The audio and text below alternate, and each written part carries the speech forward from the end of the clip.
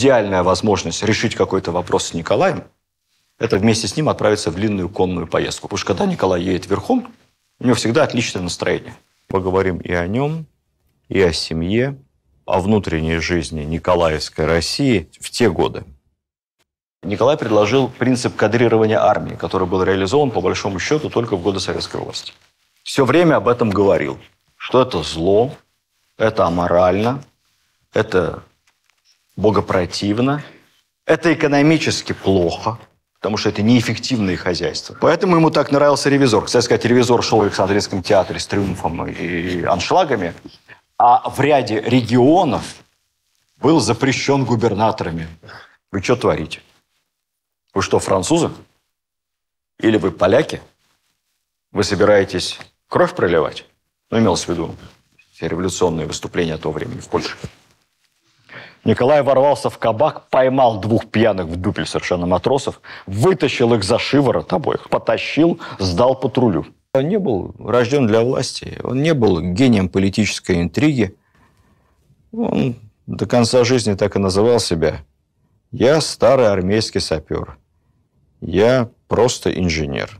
Именно при нем в России произошла транспортная революция настоящая. Появились и железные дороги, и нормальные шоссейные дороги первые, и дилижансы, и массовое пароходное сообщение. Николай всегда очень нравился женщинам. Даже когда достиг по тем временам преклонных лет. Его сыновья, в первую очередь Александр и Константин, смогли провести невероятно эффективную, быструю и решительную модернизацию. Значит, все-таки Николай их правильно воспитал. Значит, все-таки он действительно по-настоящему был хорошим отцом. И за это мы должны его чтить и помнить.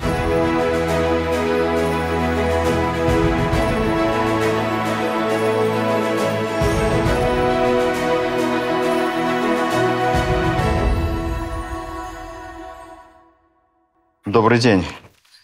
У нас сегодня рассказ о Николае Первом. Это не лекция об истории в классическом смысле этого слова. Я ни за что вас не агитирую, ничему не учу, не занимаюсь пропагандой. Я рассказываю о людях во времени. Сегодня мы будем говорить об эпохе Николая Первого. Не будет ничего о Крымской войне, не будет ничего об идеологии, о самодержавии, православии народности. Мы не будем говорить о войне на Кавказе, о подавлении польского восстания, сложных отношениях с Польшей, об освоении Средней Азии. Мы сконцентрируемся на Николае и его семье как человеке и на внутренних реформах. В XIX веке была такая глупая фраза. «Дурак умного догоняет, да Исаки мешает». Николай I скачет на лошади прямо вслед за медным всадником, за Петром. Петр повернут к нему спиной. Они на одной оси, так спланированы. Линию можно провести. Между ними Исаки. Несправедливо. Когда к памятнику подойдешь, царя не видно. Он стоит на вздыбленном коне, и ты видишь над собой только лошадиную морду. Нет человека. С анфаса посмотреть на него невозможно, надо отойти очень далеко. Либо надо сбоку как-то сходить. Довольно символичным. Памятник был поставлен после смерти Николая сыном в память об отце. Это коллективный продукт. Постамент и часть работы выполнена Агюстом Монферраном. Сам памятник Клотта. Николай в мундире на лошади. Вокруг четыре женских аллегорических фигуры. У них фотографическое сходство. Супруга Николая и три дочери его. Четыре красивых барельефа, известное деяние жизни Николая усмирение холерного бунта в Петербурге, подавление восстания декабристов, открытие железной дороги Николаевской и четвертое, кто помнит, кодификация законов Российской империи. Трудно представить, но до Николая I все законодательство Российской империи представляло из себя вот такую комнату или дворец, или неизвестно что подвал, и просто набитые бумагой. Они были не сведены вообще. Поэтому как производилось судебное дело производства, сложно себе представить. Памятник этот хотели снести в советские годы в рамках нашей беспощадной борьбы с имперским прошлым, но, что поразительно, не снесли, потому что памятник является чудом инженерной мысли. лошадь стоит на двух точках опоры. Даже медный всадник там еще третий есть. На этот момент это был единственный такой памятник в Европе. Как вот так рассчитали правильно нагрузки. И поэтому, когда вопрос о сносе обсуждался, сказали, что этого делать нельзя, потому что это уникальное инженерное сооружение. В этом качестве его сохранили, снесли только ограду. Потом в 92 году восстановили. Николаю не повезло, так же, как и его отцу Павлу. Неизвестно, о ком из них хуже высказывалась, хотел сказать, пресса. Пресса тогда не высказывалась. Хуже высказывались потомки, историография, советская историография, либеральная прозападная общественность. Николай Палкин, он же коронованный барабанщик, он же жандарм Европы, он же убийца Пушкина. Марина Цветаева так сказала, убийца Пушкина. В общем, символ самодержавия в самом плохом смысле этого слова. Он, собственно, от этого не отрекался, себя называл консерватором публично и считал, что его долг – быть образцовым самодержцем, как его отец Павел, как его прапрадед Петр I. Он слуга государства. Николай никогда не хотел стать царем. Уникальное явление в мировой истории, когда корону не вырывали друг у друга наследники, пытаясь пустить кровь, зарезать Ричард III, а бросали друг другу. Я не хочу, я, я отрекаюсь. Нет ты, нет, нет ты. Так вот Николай и Константин три недели друг другу пасовали корону. Никто не хотел быть императором всероссийским. Второго такого случая я, честно говоря, в отношениях между наследниками, тем более родными братьями, не припомню, кто из вас, может быть, меня поправит. Ну вот вопрос, каким был Николай реально? Был ли он Николаем Палкиным или Дон Кихотом самодержавия, как его еще называли? Как получилось, что сначала при нем империя вознеслась на вершину геополитического величия, а потом, спустя неполных 30 лет, не смогла сбросить десант в Крыму? Ну, представьте себе, при его брате Объединенная Европа сожгла Москву. И тем не менее, спустя уже два года наши были в Париже, страна была освобождена, Александр диктовал волю в Вене всему цивилизованному миру, как бы сейчас сказали. А при Николае проходит 30 лет по его повиновению пьесы в Парижском театре снимают с репертуара. Известная история. Оскорбительную с точки зрения Николая пьесу пытались поставить во французском комедии «Францесс». Было написано письмо «Протест». Администрация французская слабо сопротивлялась, говорят, у нас нет цензуры, у нас театр свободный, у нас все решает зритель, аплодисментами либо свистом провожает пьесу и определяет судьбу репертуара, на что Николай попросил нашего посла, чтобы там передали, что если все решает публика, то у него есть миллион зрителей в серых шинелях. Они придут и засвищут автора прямо в Париже. Пьеса была снята. Официально объяснялось тем, что билеты не проданы. И вот после всего этого десант в Крыму, и они не могут сбросить его в море. Ничего не работает. Вся система не работает. Как так получилось? Николай родился летом 1796 года. Еще жива и вполне здравствует его бабушка Екатерина, вполне бодрая. Она увидела внука, сказала «Эки богатырь» и написала «Голос у него бас». Это о двух-трехмесячном младенце. Кричит он удивительно, длиной воршин без двух вершков. Это 61 сантиметр. Ну, большой. Руки немного менее моих. В жизнь мою первый раз вижу такого рыцаря. Если он будет продолжать, как начал, то братья окажутся карликами перед этим колоссом. Бабушка вскоре умерла. Помним с вами, что старшие братья Александр и Константин воспитывались бабушкой по специальной программе. Здесь воспитывала уже маму. Детство он провел среди женщин, в Гатчине, в Павловске. Отвечала за воспитание статсдама Шарлотта Ливен, которая считалась одной из самых добрых и милых женщин при дворе. Ее называли океаном нежности и снисходительности. Кстати сказать, она прямая прапрапрапрабабушка знаменитого британского историка Доминика фон Ливина, ну, британо-германского, скажем так. Разница между старшим братом Александром и Николаем огромная, почти как отец и сын, почти 20 лет. Поэтому всю свою жизнь Николай я относился к Александру не как к старшему брату, а как к отцу, как к сюзерену. А вот младшие дети, Николай, следующий сын еще младше Николая, великий князь Михаил Павлович, и сестра Анна были очень близки друг с другом. Они образовали такой своеобразный детский комитет, то есть были старшие дети, были младшие. У них были свои секреты, они играли столько вместе, у них были особые кольца. Всю жизнь они потом поддерживали особые отношения, были очень близки друг к другу.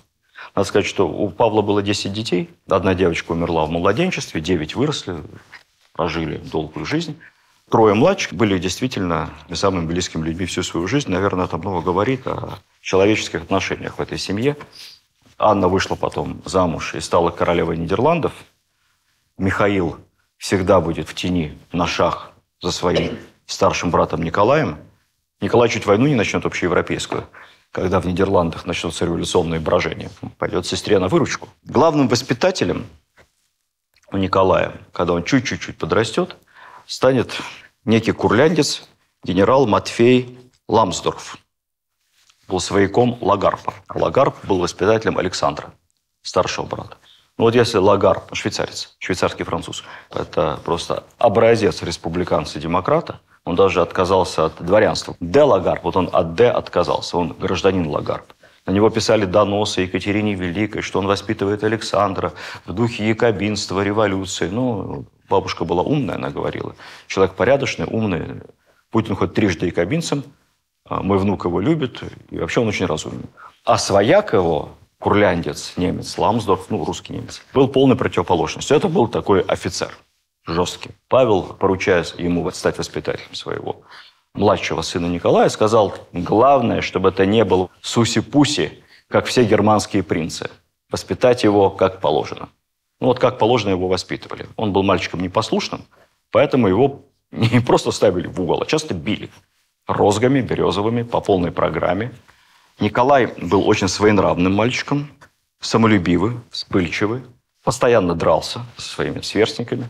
У него был своеобразный набор игрушек, как у Петра Первого. Деревянные ружья, шесть деревянных шпаг, деревянные алибарды, барабаны, трубы, деревянные лошади, деревянные пушки, для них ящики и снаряды.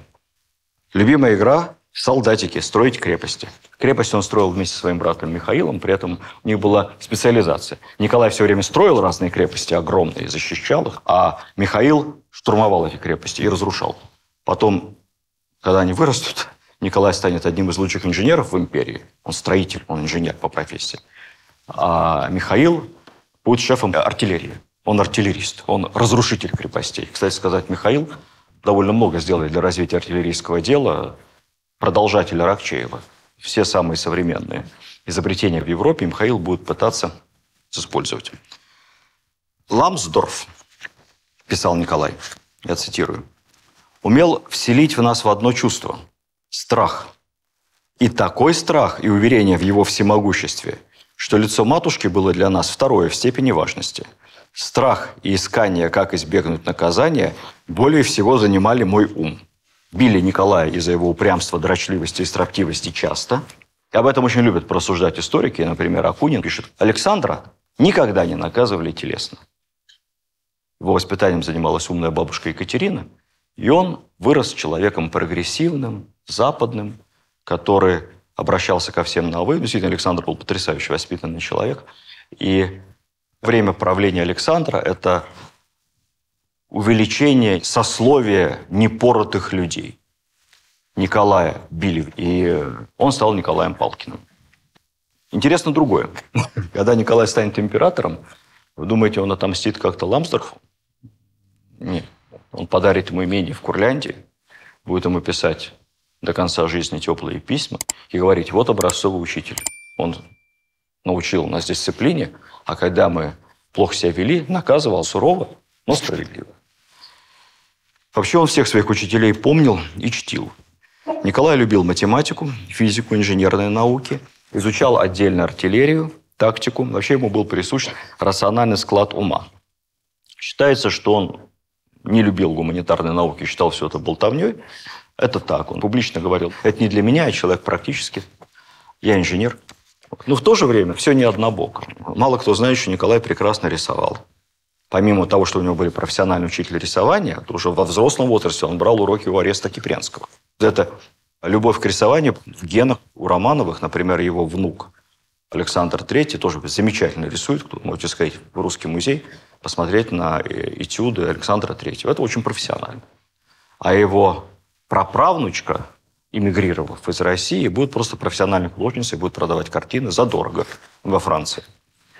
Николай играл на духовых музыкальных инструментах, очень увлекался этим. Потом, опять же, его внук Александр III тоже будет большим поклонником трубной музыки, как говорили тогда. Фехтование, танцы и верховая езда. Вообще, верховая езда – конек Николая. Его посадили на лошадь не на пони, а на большую лошадь, боевую. В пять лет, и вот он буквально врос в нее. Это был настоящий джигит. Он мог провести в седле 8-10 часов, потом спрыгнуть и пойти на бал. Идеальная возможность решить какой-то вопрос с Николаем – это вместе с ним отправиться в длинную конную поездку. Потому что когда Николай едет верхом, у него всегда отличное настроение. Мы сейчас скандинавской ходьбой занимаемся. У него вот такой спорт. Он все время верхом. Кстати сказать, ходить пешком тоже Николай очень любил. Мы себе не можем это представить, но когда он жил в Зимнем дворце, он обычно вставал летом в 7 утра. После туалета он сразу шел выгуливать своего пуделя. Пуделя звали Гусар. И он гулял с ним один, без охраны, по Дворцовой набережной, туда-сюда. Минут сорок. Раскланивался совсем, кого встречал ранним утром. Ну, может, где-то сзади шел адъютант, я не знаю. Но рядом не было никого. Потому что Николая можно было встретить где-то с 7 до 8 гуляющим по Дворцовой набережной. Хотя он не любил гуманитарные науки, и всегда это подчеркивал, но, тем не менее, память у него была замечательная, поэтому иностранные языки давались ему легко, свободно. Французский, английский, немецкий, по принуждению, ну что поделать, латынь, древнегреческий и польский. Шесть языков. Кстати, его старший брат Константин учился новогреческому. Поскольку его готовили константинопольские государи, то у него была и няня гречанка, и воспитатель грек. Они между собой говорили только на современном греческом языке. Вполне по-мальчишески Николай потом писал. «Ты не можешь себе представить, какую тоску наводит на меня одно только воспоминание о моих уроках греческого и латыни, пользы от которых я себе никогда не мог осознать. Кстати сказать, трудности у него были с русским языком, как у всех дворян того времени. Он лет до 15-16, в общем-то, по-русски изъяснялся как на иностранном. Писал только по-французски. Проблемы с орфографией и грамматикой у него не такие, конечно, как у Петра Первого, у которого вообще отсутствовали представления о грамотности любые. Но были у него ошибки до преклонных лет, в знаках препинания, иногда орфографические ошибки допускал. В этом отношении не был таким абсолютным педантом, как его старший брат Александр. Вот если бы Александр увидел этот стол, он, конечно, пришел бы в ужас, потому что все должно вот так лежать. Вот так. Вот. Только ровненько, под углом. Тут же был вызван помощник, его бы отругали. А вот, это, вот этого быть вообще на столе не должно. Все, все перья должны быть заточены на определенную длину. Входящее и исходящее. Вот так ровно 2 сантиметра. Идеальный почерк, вообще ни одной ошибки. У Николая в этом отношении чуть-чуть попроще, но надо сказать, что именно Николай как раз э, русский язык сделал официальным языком делопроизводства в Российской империи. До этого момента все было смешано, кому как удобнее. Поэтому министерства принимали прошения на французском главным образом, отчасти английском, немецком, могли также и отвечать. И только при Николае официальным языком государственного делопроизводства и законодательства стал русский. Кроме МИДа. МИДе французский. И российские дипломаты друг другу писали служебные записки на французском языке. Это считалось нормой. Как-то Николай встретил камер пажа, с ним поговорил, спросил его, зачем ты картавишь? Тот, видимо, как-то грассировал. За француза тебя все равно никто не примет. Благодари Бога, что ты русский, и хватит обезьянничать. В 829 году, во время посещения Польши, предводитель какого-то там дворянства польского обратился к Николаю возвышенно по-французски. Николай выслушал его полминуты, потом перебил и сказал, слушайте, говорит, э, я прекрасно понимаю по-польски, а вообще у нас государственный язык русский, поэтому давайте либо по-польски, либо по-русски. Французский здесь совершенно ни при чем. Почему Николай любил все военное? А тогда все любили все военное весь период его молодости, начнем с момента практически рождения, там, от 815 года, это же бесконечные войны. Заграничные походы, турецкие войны, итальянская кампания, Франция, персидские войны. Ну а чем еще жить мальчишкам, подросткам, когда все вокруг воюют? Все самые уважаемые люди в эполетах и при оружии. Поэтому, естественно, все они были очень увлечены военным делом. Когда началась война 812 года, Николай сразу просится на фронт. Он пишет Александру, «Мне стыдно осознавать себя бесполезным на земле существом, непригодным даже для того, чтобы пасть смертью храбрых на поле битвы. Пустите меня в армию». В армию его не отпускают, 15 лет, какая там армия. Мама вообще намертва, никуда, никогда. Они вместе с Мишей разрабатывают план побега в армию. Один из э, руководителей декабристов, по-моему, кто-то из Муравьевых, он тоже было лет 15, он бежал в армию, его поймали. Как вы думаете, кто? Крестьяне, естественно, поймали его как французского шпиона, потому что не смог внятно по-русски объяснить им, кто он такой и чего. Поймали, побили крепко, но, слава богу, не зашибли, а сдали патрулю. А так и Николай. Его пустили в армию только когда наши уже стояли в Париже. Он приехал в штаб, познакомился, такое было судьбоносное знакомство с генералом Паскевичем. Паскевич был существенно старше его. Старший брат представил, сказал, вот Николай, а вот Иван Паскевич, один из моих самых лучших генералов. Он тебе все и объяснит. Николай привязался к Паскевичу невероятно. Он ходил за ним хвостиком, расспрашивал как надо командовать. Паскевич потом вспоминал. Николай Павлович постоянно меня звал к себе и расспрашивал о компаниях. Мы раскладывали карты и по целым часам вдвоем разбирали все движения и все битвы 12, 13, 14 годов. Главная его черта, которой он привлек меня к себе, это прямота и откровенность. Ну, вот насчет прямоты и откровенности, это отсыл к его старшему брату Александру. Потому что старшего брата никогда не поймешь, что он думает на самом деле. Он византиец, он дипломат, он одно говорит, третье думает, четвертое произносит. Николай – полная противоположность. Что думаю, то говорю. Прямота и откровенность. Почему его еще не отпускали в Париж и долго упирались? Потому что там, в общем-то, уже покоренный город, и золотая молодежь, офицерство гуляло по полной программе, посмотреть воспоминания того времени, почитать. Вот с утра мы проснулись, приняв туалет, решили с господами офицерами позавтракать в ближайшем бистро. Заказали по две дюжины устриц на человека и по две бутылки шампанского. После чего перешли к завтраку. Николай был не таков. Золотой молодежью не кутил, по кабакам не шлялся, и, что особо важно, не шлялся ни по каким парижским борделям, что отмечалось. Николая интересовала политехническая школа, как устроены казармы, как устроены госпитали, как работает дом инвалидов. Тогда это был, естественно, еще не музей, а хоспис для ветеранов. К нему постоянно обращаются с разного рода просьбами, которыми нельзя обратиться к царю, но к царевичу можно. Много на эту тему известных историй. Одна, например, выдающая его последующую склонность ценить семейные ценности. Николаю пожаловался какой-то французский аристократ, от которого сбежала дочь. Исчезла с любовником. Как вы понимаете, любовником был русский гусар, офицер. И уехал. Аристократ нажаловался, Николай стал разбираться, сказал, ну, любовь и любовь, что поделаешь. Но тут выяснилось, что гусар был женат счастливо в Москве. У него там была большая семья и дети. И это Николай счел недостойным русского офицера. Француженку у него отобрали, заставили заплатить 50 тысяч франков на приданное. Он же опорочил девицу. Кто такую замуж возьмет? Потом он от себя добавил еще 10 тысяч франков. Ну и вот с таким приданным 60 тысяч франков, не слишком разборчивый французский высокопоставленный чиновник, тут же через две недели взял девицу замуж сразу же потеря невинности его ни капли не смутила. Вообще Николай считался по жизни образцовым семьянином, идеальным мужем. Его поженить старший брат захотел сразу, поскольку он давно вынашивал план укрепить как-то династический союз между двумя соседями, между Россией и Пруссией.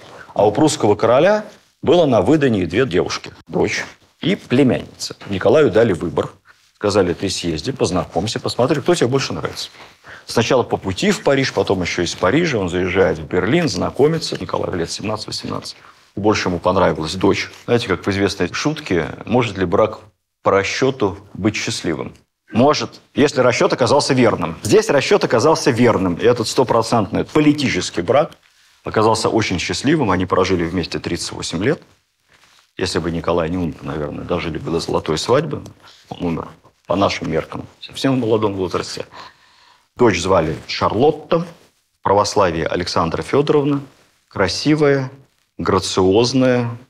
Мы ей обязаны, кстати сказать, новогодней елкой. Ведь считается, что новогоднюю елку придумал Петр Первый. Это так. Он ее завез. а впервые украсили игрушками новогоднюю елку мишурой и звездочками именно при Николае. И сделала это его жена Шарлотта-Александра Федоровна. Сначала в Москве, потом на следующий год уже в Петербурге. И глядя, как это делает у себя дома во дворце государыни, весь свет стал украшать новогоднюю елку. Кстати сказать, гений чистой красоты – это кто? Анна Петровна Керн. Пушкин, конечно, язык не поворачивается сказать плагиатор, но это не Пушкин написал. «Гений чистой красоты» – это из стихотворения Жуковского, посвященного Шарлотте, невесте государя. Это она, гений чистой красоты. Эту фразу Александр Сергеевич просто использовал красивую уже в своем замечательном стихотворении. Хотя она родила Николаю семь детей, до самой смерти она была очень худенькой, очень грациозной. Тогда еще моды на худобу не было, на самом деле. Было такое исключение. Такая она и была. Гений чистой красоты. Кстати, если верить самому Николаю, он признавался, что вступил в брак девственником. В 1835 году он приказал своему личному врачу, я процитирую письменный документ, «Я пришлю своего сына, и ты покажи ему самые ужасные примеры сифилитической болезни, как на мужчинах, так и на женщинах. Когда я был молод и еще не женат, мой доктор тоже водил меня по военному госпиталю. Больные, которых я увидел, произвели во мне такой ужас, что я до самой своей женитьбы ни разу не знал женщины. Отличительная черта Николая всю жизнь – любовь к детям. У него было три дочери, которые на памятнике вместе с женой, и четыре сына. Знаете, как сыновей звали? Несложно догадаться. И в каком порядке? Первый – Александр, второй – Константин, третий – Николай, четвертый – Михаил. Точно так же, как его братьев, в том же порядке. У Николая не было вообще, как считается, открытых любовниц. Ну, то есть, наверное, они были. И молва приписывала ему спиток внебрачных детей, которых он якобы записывал на своего министра путей сообщения в молодости адъютанта. Признавал своими детьми, якобы. Но этому нет никакого доказательства. Это все придворный слух. Если у нее были какие-то отношения на стороне, то это было до такой степени засекречено и законспирировано, что просто никто ничего не знал. Вообще. Единственная условно доказанная любовница считается Варя Нелидова. Это племянница подруги его отца Павла. У Павла была Екатерина Нелидова, действительно его товарищ, советник. Есть версия, что Нелидова была его относительно открытой любовницей. Мы всех делим на тех, кто за, и тех, кто против. Вот те, кто против, они говорят, да у Николая было их много, просто он всех прятал, чтобы жена не расстраивалась. А те, кто за Николая, они говорят, вот одна была у него Нелидова, да и то появилась только после 40 лет, когда врачи после седьмых родов запретили ему с женой иметь отношения, потому что уже организм не выдерживал. Вот тогда уже 50 плюс он завел постоянную любовницу с разрешения своей супруги. Так либо иначе, Нелидова вела себя очень скромно, просто как серая мышка. Никакого влияния ни на что не имела. Кстати сказать, Николай ей завещал 200 тысяч рублей, довольно крупную сумму, что является, опять же, как бы доказательством того, что у них были отношения. Из своих личных денег. У него было три бюджета. Бюджет империи – это отдельно вообще. Далее, бюджет императорского двора – это отдельно. И третье – личные деньги государя. Вот он из личных денег завещал ей 200 тысяч, которые Нелидова тут же передала в фонд Крымской войны на помощь раненым. Когда Николай скончался, его супруга подозвала Нелидову к себе, о чем-то с ней они поговорили, поплакали вместе, и она со своей руки подарила браслет Нелидовой, на котором была такая иконка с портретом Николая, которую Нелидова до конца жизни носила. В общем, такие были интересные отношения.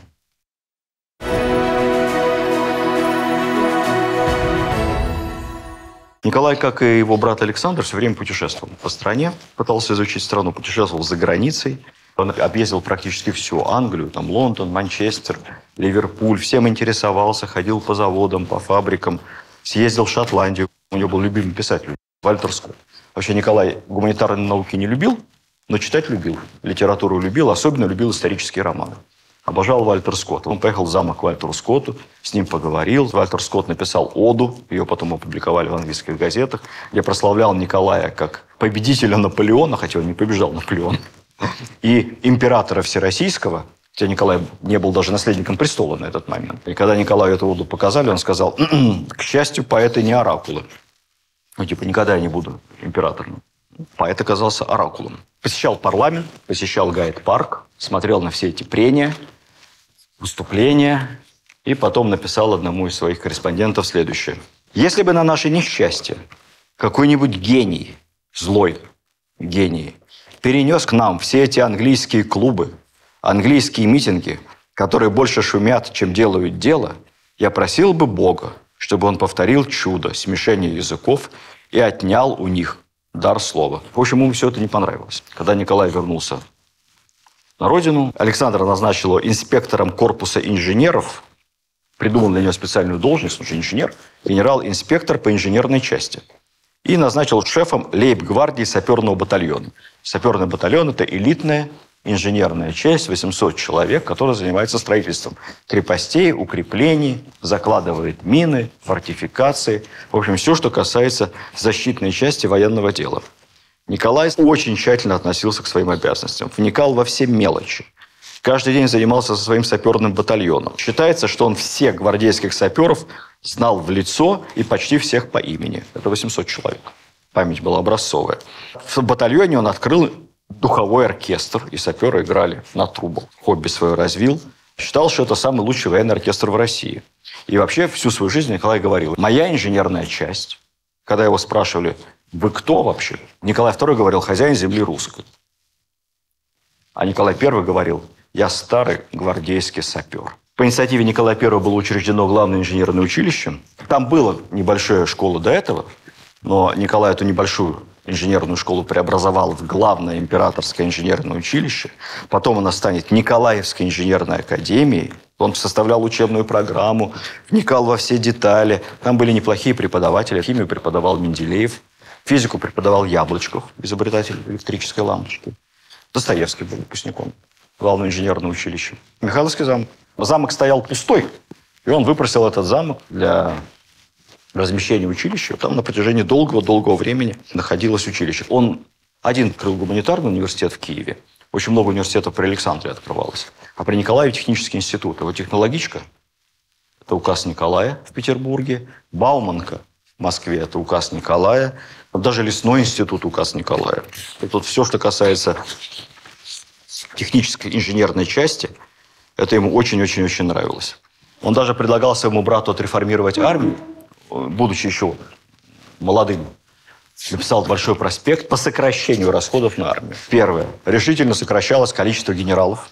Генералов слишком много. Надо делать упор на офицеров и унтер-офицеров, сержантский состав. Второе. Больше инженерных, саперных, технических частей, то есть меньше парадов. И третье, Николай предложил принцип кадрирования армии, который был реализован, по большому счету, только в годы советской власти. Когда полк это, например, один батальон постоянный, а дальше обмундирование, сержантский состав, частично офицерский состав, вооружение на складе смазанное, готовое, еще на три батальона. Если начинается война, раз призывают, и полк раскадрируется, все становится большим. А так на время сокращаются расходы бюджета. Александр не принял эту реформу, это было слишком глобально. Он вообще не очень доверял своему младшему брату, опять же, относясь к нему как к мальчишке.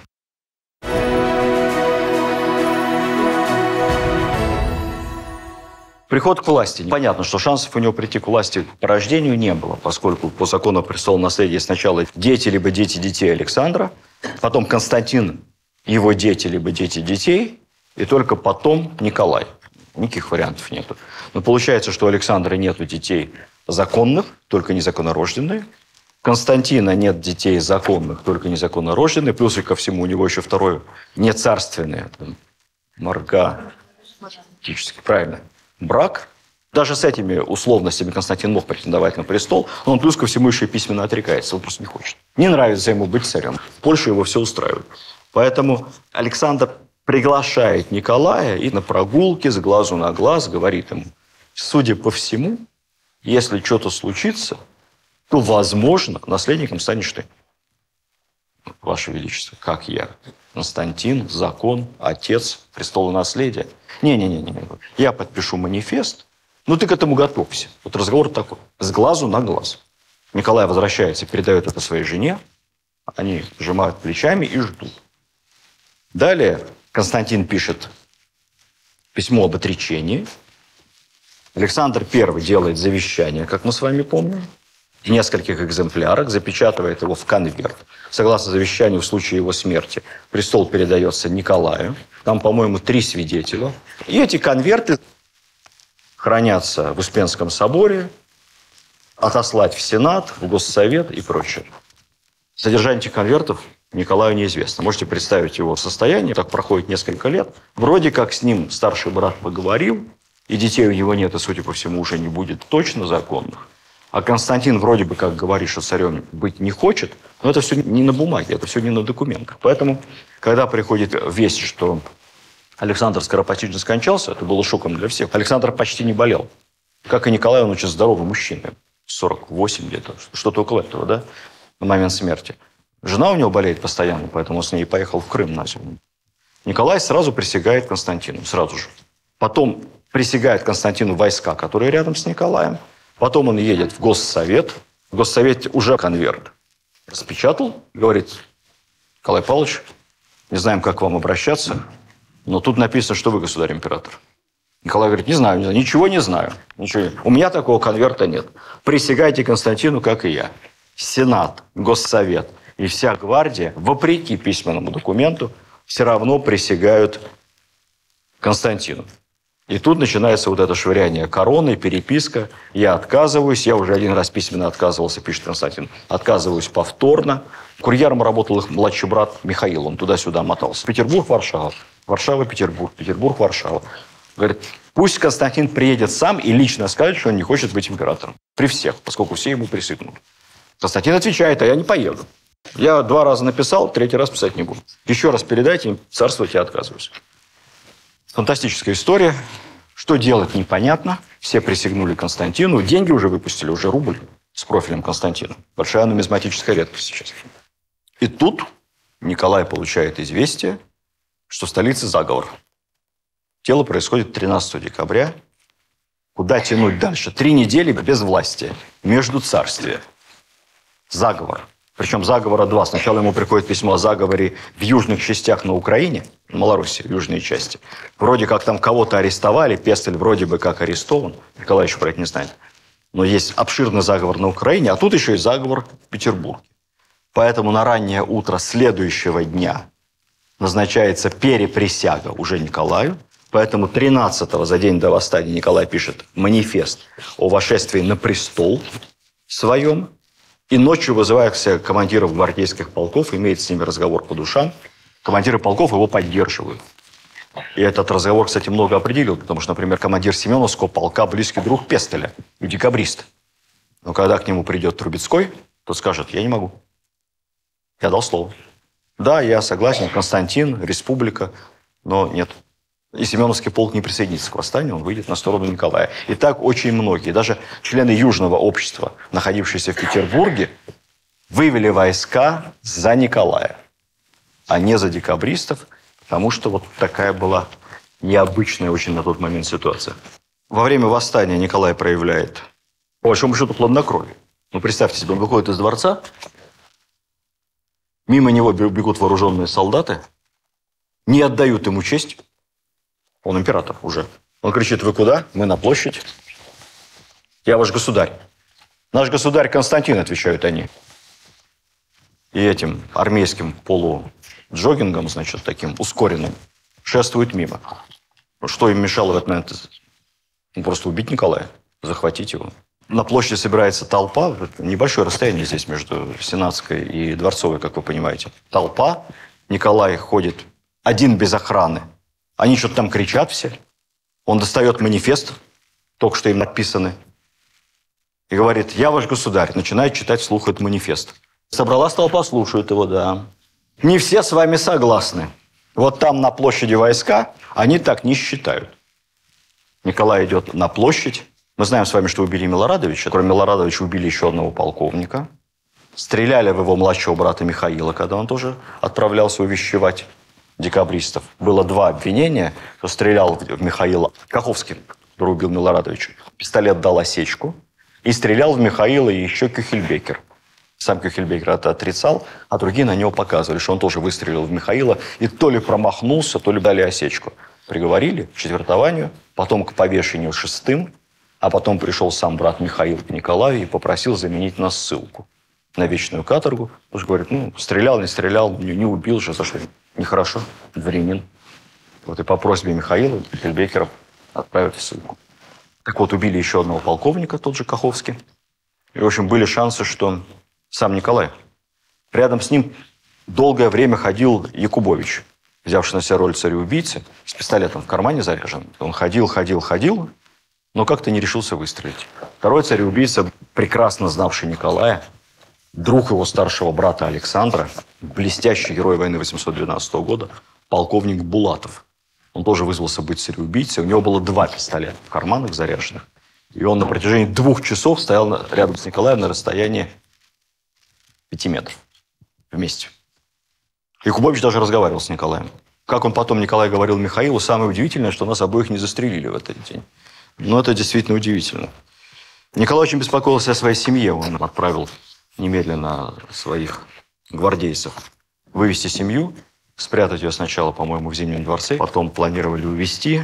Вообще, расследование событий 14 декабря стало его первым делом как императора. Мы знаем с вами, что он лично участвовал почти во всех допросах ключевых, пытался понять, разобраться, почему, как. Потом он несколько раз понизит степень наказания. Было пять приговорено к четвертованию, около ста смертной казни. Соответственно, всем будет градус понижен, четвертование на повешение.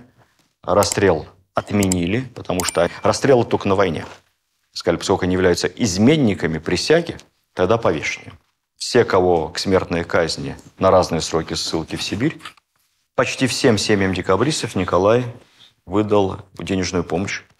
Детей устраивал если обращались за казенный счет, военное училище, в кадетские корпуса, девочек в пансион. Ну, например, Рылеев. Он даже не военный. Он был единственным женатым из э, пятерых повешенных. У него осталась жена и дочь. Жена ничего не знала. Написал Николаю слезное письмо с просьбой разрешить свидеться. Свидеться не разрешили, разрешили переписку. Денег у нее нет. Она получает 10 тысяч рублей лично от императора. Дочь Рылеева устраивают э, за казенный счет лучший пансион императорский. Такой же принцип был по отношению ко многим семьям. Любители Николая говорят, что он потратил больше денег на финансовую помощь семьям декабристов, чем заплатил премиальных своим офицерам и солдатам за разгон мятежа. Там тоже все получили премии, от солдата до генерала, но очень скромно, потому что Николай считал, вы всего лишь выполнили свой долг. Кстати, Николай вообще был экономным до части разбазаривания государственного бюджета – Например, при его царствовании, за редчайшим исключением, не было случаев раздаривания поместий за любые заслуги, выдачи крупных денежных премий за что-нибудь, раздачи государственных крестьян вообще ни разу никогда никому. Потому что там матушка Екатерина этим занималась, Павел, широким жестом всем.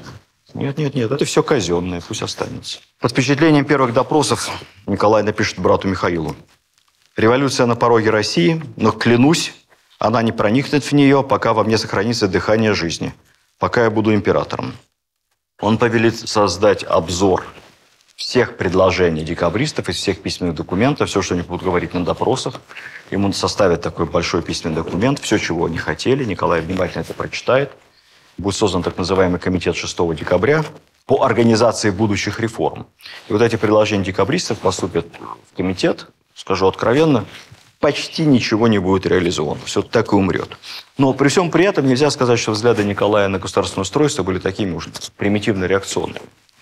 На самом деле революцию он не любил, но вот что он говорил Маркюзе де Кустину, когда тот приехал писать свою книгу о Николаевской России. За счет нашей казны, кстати сказать. Мне понятна республика.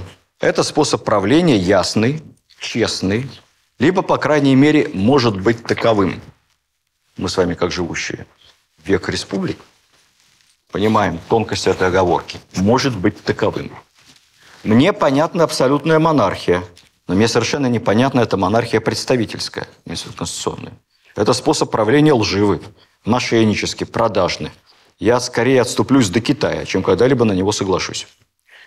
Кто погубил Францию? Францию погубили адвокаты. Все эти Мирабо, Робеспьеры, Мараты. Я пока царь, мы тут в России без адвокатов обойдемся. И вот он царь, вот он император, вот у него работа такая. Он воспринимает работу как долг, службу. И вообще надо сказать, что если не считать Петра Первого, то, наверное, никто из императоров российских так много, как Николай, не работал. Хотя из мужчин бездельников не было. Николай всегда жил по расписанию. У него был очень жесткий тайм-менеджмент. Он всегда вставал в 7 утра, летом, зимой мог на час позже. Был очень аскетичен, как и все поздние Романовы. Спал на походной постели с тюфяком из соломы.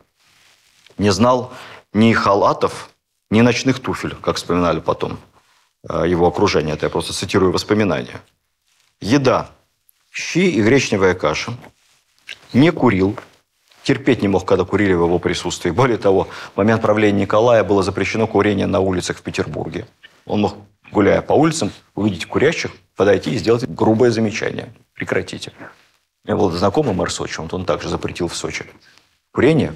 И когда гулял по городу, подойдет и мальчишки, отдайте сюда. Забирал у них сигареты, выбрасывал и топтал их. На улицах нельзя курить. В 7 утра просыпался. С утра после прогулки с пуделем-гусаром разбор бумаг. В 9 утра, всегда минута в минуту, начало официального приема докладов от министров и членов его администрации императорской. Иногда вместо приема он отправлялся в различные учреждения или из учебные заведения с проверками. Посещал их в самое неожиданное время, как правило, не уведомляя заранее. То есть ему было интересно, что происходит, когда люди не знают, что он придет проверить, как работает то либо иное министерство. Послеобеденная прогулка летом в коляске или кабриолете, зимой на санях – это примерно с полвторого до трех. Всегда приходил на церковные службы, всегда приходил на них вовремя, стоял от начала до конца. После прогулки работа в кабинете, опять прием, докладов, записки. Где-то около восьми, выпив чаю с семьей, мог отправиться на прогулку или сходить в театр. Театр он любил, как мы знаем.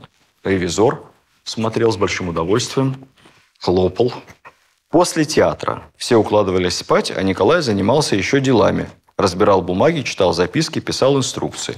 Обычно до двух-трех часов ночи. Его камердинер вспоминал. «Засну иной раз, а потом очнусь и подумаю, ой, а не пора ли государю подать одеваться? Ну, имеется в виду одеваться ко сну. Загляну, а он уже сам разделся и лежит. Иной раз слышу шорох. Смотрю, государь заметил, что я заснул на рабочем месте – и на цыпочках проходит мимо меня. Трогательно. Николай не пил крепкого алкоголя никакого. Бокал вина, все. Не играл в азартные игры. Не любил охоту. Большая редкость. Считал, что пустая трата времени. Но, опять же, много ходил пешком, много ездил верхом. По утрам делал зарядку, очень необычную, с ружьем. Разработал такую систему, видимо. Как монахи Шаолинь с палкой, а он с ружьем колол, бил прикладом, находился все время в хорошей форме, ну, не было живота, стройный, высокий. Есть разное мнение по поводу роста Николая, потому что да, ведь не, никому не приходило в голову померить императора и в газетах об этом написать. Но вот оценочные две версии. Одна 2 метра, но более реалистичная метр 89, метр 90 высокого роста, как и все Романовы после Павла, исключая Николая II. Они все были где-то метр 90 плюс. Известна сентенция о его брате Александре, который всю жизнь провел в дороге, кочующий деспот, как его обзывал Пушкин. Но она не менее справедливая по отношению к Николаю. Он регулярно ездил осматривать регион, провел в дороге огромное количество времени, поэтому дороги для Николая не были абстрактным понятием. Его стремительное передвижение поражало соотечественников. Рассчитывался маршрут движения государя, в какой день, который час, куда он должен прибыть. Вот он всегда этот маршрут опережал – очень этим гордился, загонял буквально лошадей. И именно при Николае началось масштабное строительство дорог. Сложно себе представить, но в Российской империи дороги были такими, наитивными, строились не по системе, как получится. Николай ввел так называемый английский стандарт. Два слоя щебня, 65 и 15 сантиметров, между ними грунт, сверху утрамбовать. Вот такие более-менее твердого покрытия дороги появились только при Николае Первом в России. И если мы возьмем общую протяженность шоссейных дорог в России за 100%, половина из них была построена при Николае до 17 года. За все последующие годы построили всего лишь столько же. Его интересовало все. Он осматривал больницы, тюрьмы, склады, учебные заведения. лично контролировал застройку городов, вносил изменения в планы, но все-таки инженер. Руководил реконструкцией строительством крепостей. Вся охровая архитектура, эти желто-белые дворцы, это все Николаевская архитектура. Исаакиевский собор – это Николаевская архитектура. Храм Христа Спасителя в Москве – это Николаевская архитектура. Он ценил и любил талантливых архитекторов, помогал им, приближал. Очень много занимался строительством учреждений культуры, как бы сейчас сказали. Много театров было построено при Николае. Наш город, наша страна в этом отношении тоже очень много обязана тому времени. Нельзя сказать, что его окружали какие-то помощники-дуболомы. Нет, приблизил много либерально мыслящих людей. Он Спиранского вернул, поручил ему составление законов. Он Кочубея вернул, который был членом негласного комитета при Александре. Самым великим либералом на протяжении всего царства Николая был граф Киселев, который провел громадную реформу государственных крестьян. Команда у него, надо сказать, была довольно прогрессивной. Не могу не сказать несколько слов по поводу холеры. Тем более вот там вот, значит, вокруг памятника Николая холера один из четырех барельефов. Холера началась в 1730 году. Это первая эпидемия холеры в нашей истории. Пришла из Индии. Скажем откровенно, что холера тогда – это не ковид сегодня. Это дикая смертность. Была чума в екатерининские времена в Москве, но хотя бы она была локализована. Холера – национальная эпидемия по всей стране. Причина холеры была неизвестна. Не понимали, что холера идет через воду. Поэтому единственным способом был карантин. Помните, пушкинский карантин во время холеры. Второе – окуривание. Ну, считалось, что если при чуме помогает вот это вот как бы дым, то и при холере, может быть, поможет. Поэтому жгли огромное количество костров, собирали листья, собирали дрова, везде, везде все горело. Уксус, все протирали уксусом, либо хлорной известью. Лицо, руки, одежду, мебель, животных. Вот на что хватало, все протирали уксусом. Ну вот, собственно, и все. Поскольку это все не очень помогало, и врачи лечили по наитию, естественно, холерные мятежи, холерные бунты. Больницы громили, врачей убивали, карантин нарушали. Здесь же, в Петербурге, на Сенной площади собралась огромная толпа, известный эпизод, несколько тысяч человек, которые собрались пойти громить очередную холерную больницу открытую. Потому что, ну, понятно, чем бы это закончилось перебили бы всех врачей и освободили бы заключенных в этой больнице больных. Николай приехал лично на Сенную площадь, вошел в толпу. Известный эпизод, он довольно романтизированный, но тем не менее залез на коляску и сказал, я ваш государь, вы что творите? Вы что, французы? Или вы поляки? Вы собираетесь кровь проливать? Ну, имелось в виду все революционные выступления того времени в Польше. Я обещаю вам, что врачи все делают правильно. Если они просят вас выпить какое-то лекарство, пейте. Чем ну, лекарства не было? Чем вы там поете от холеры? Дайте мне. Ему дали какую-то мензурку, он тут же на глазах у всех выпил. Публичная прививка. Вот. Толпа повалила на колени первые ряды. Николай спустился с коляски, подошел к какому-то первому мужику, обнял его и поцеловал. Толпа разошлась. Тогда же он поехал в Москву. Там тоже были холерные больницы. Он посещал больных, следил за карантином, налаживал снабжение, учреждали приюты для сирот, которых тогда сотнями и тысячами в Москве появлялись. Несколько людей умерло от холеры в самом ближнем окружении Николая. Николай сам заболел холерой, но в легкой форме, крепкий организм.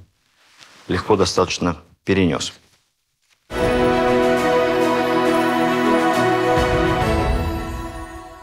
Государственное управление. Реформировал как мог.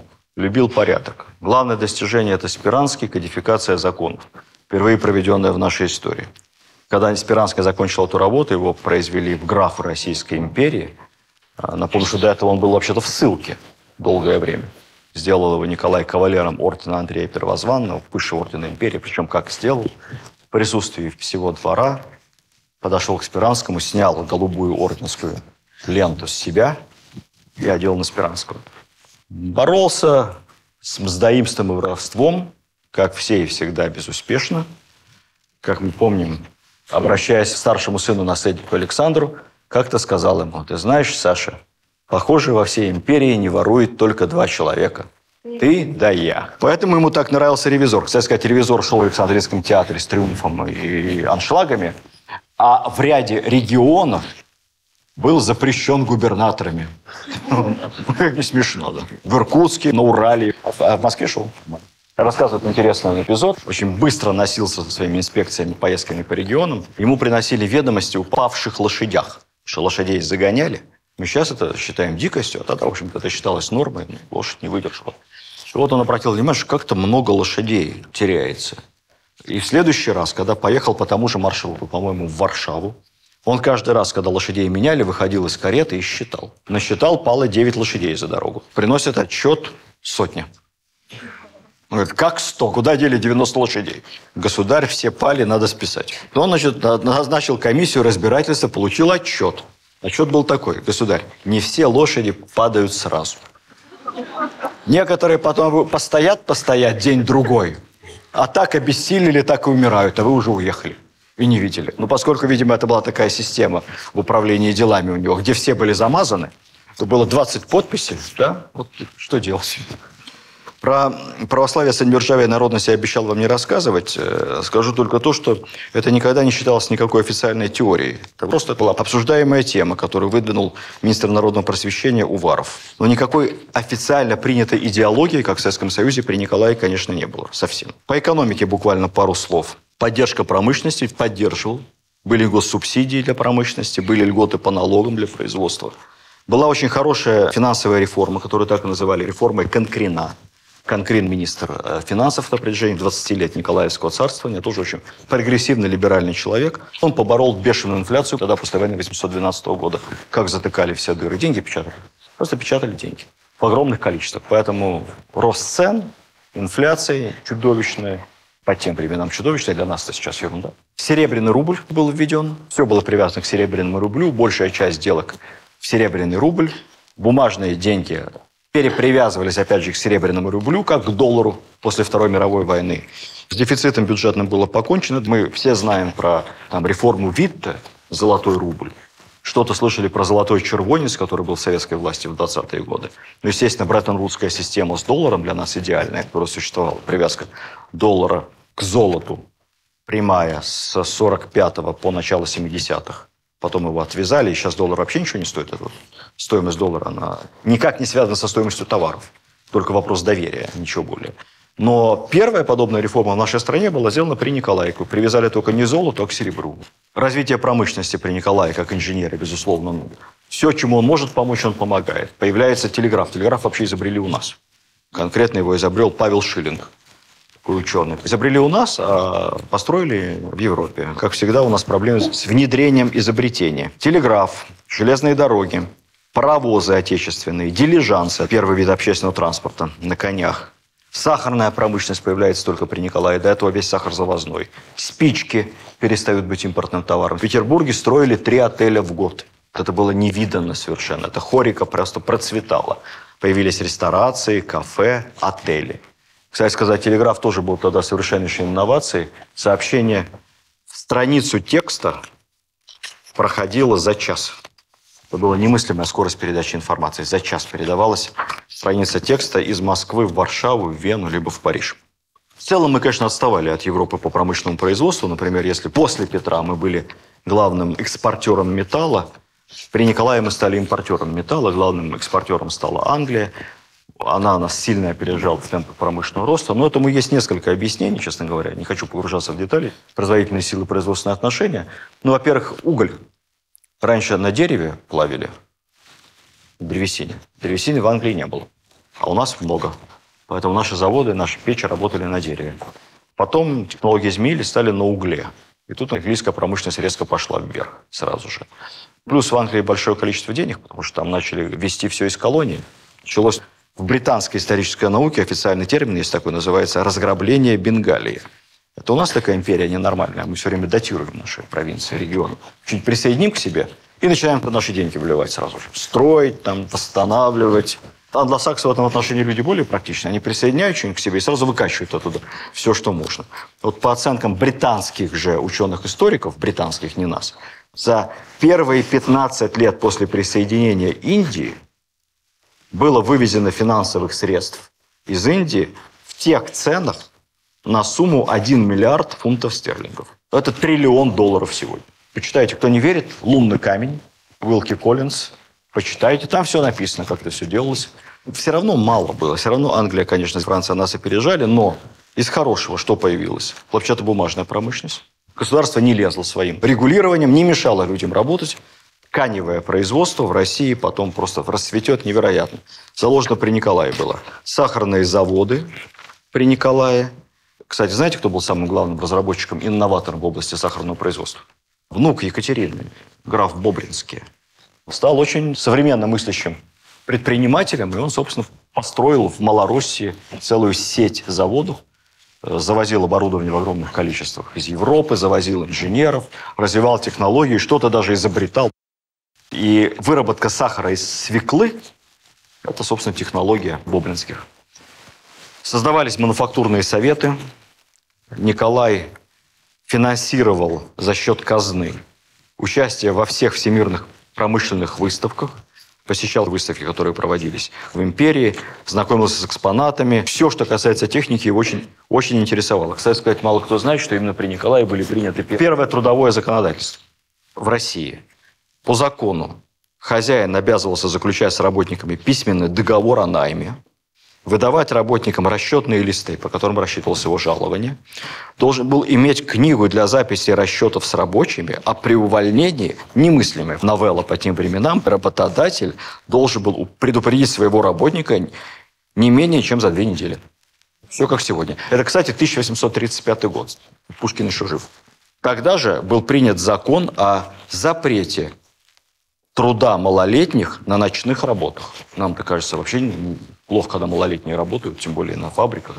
Ну, в те времена-то это вообще было в порядке вещей.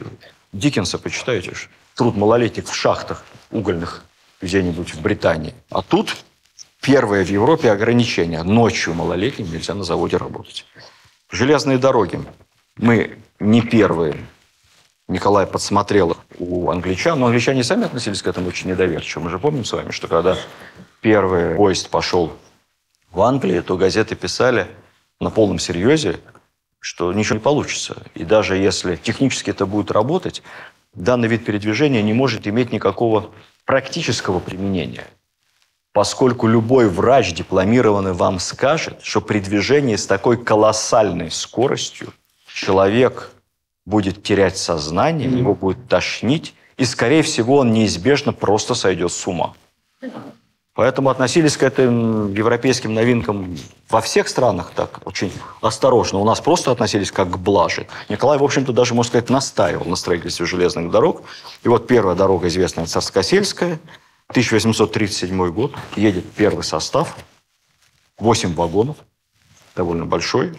Ну, а потом строится уже большая Николаевская железная дорога, Москва-Петербург, которая на тот момент является самой длинной дорогой в мире. 650 километров, двухпутная. Таких дорог в мире нет. Через некоторое время появится намного большая дорога в Соединенных Штатах, трансконтинентальная. Кстати, стоит она намного дешевле, чем Николаевская. Николаевская стоила страшных денег бюджет. Немыслимых денег. Никто даже не мог посчитать, в конце концов, сколько она стоила. Николай отшучивался. Тогда отвечал за железные дороги тот самый Клейн Михель, которого якобы николаевских детей записывали. Он был заодно еще и министром путей сообщения. И когда Николая спрашивали, в итоге сколько стоило? Он говорил, про это знает только Господь Бог и Клейн Михель. Я, я не знаю. Дорого. Дорого. Беда только в том, что на этом у нас остановилось строительство тогда.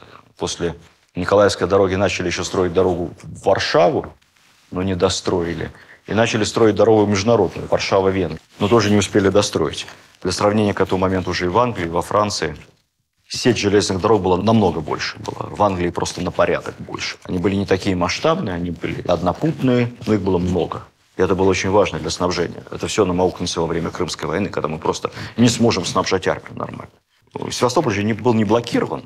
Доступ к нему был свободный, мы могли его снабжать. Он не был окружен.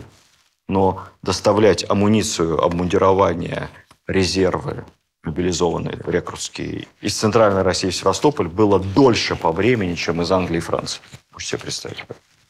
Все это не работало. Пароходное сообщение. Пароходы тоже при Николае. Первые пароходы появились чуть раньше, но это была экзотика невероятная. У Аракчеева был пароход тоже большой сторонник технических новинок, а системное производство, эксплуатация пароходов на Волге, на Днепре, Волхове, Неве, на всех важнейших озерах, Ладожском, Онежском, даже на Байкале. Все вот это пароходное сообщение, это при Николае. Кстати, у нас стали и строить пароходы, появились пароходные заводы. Пароходов строилось намного больше, чем судов сейчас. Только в одном Волжском бассейне 350 пароходов было. Михалков, когда снимал «Солнечный удар», пытался найти пароход действующий. Не нашел ни одного итоге вот этот пароход весь, помните там эту сцену с этим? Это все снималось в Женеве, на Женевском музее. У нас пароходов не осталось.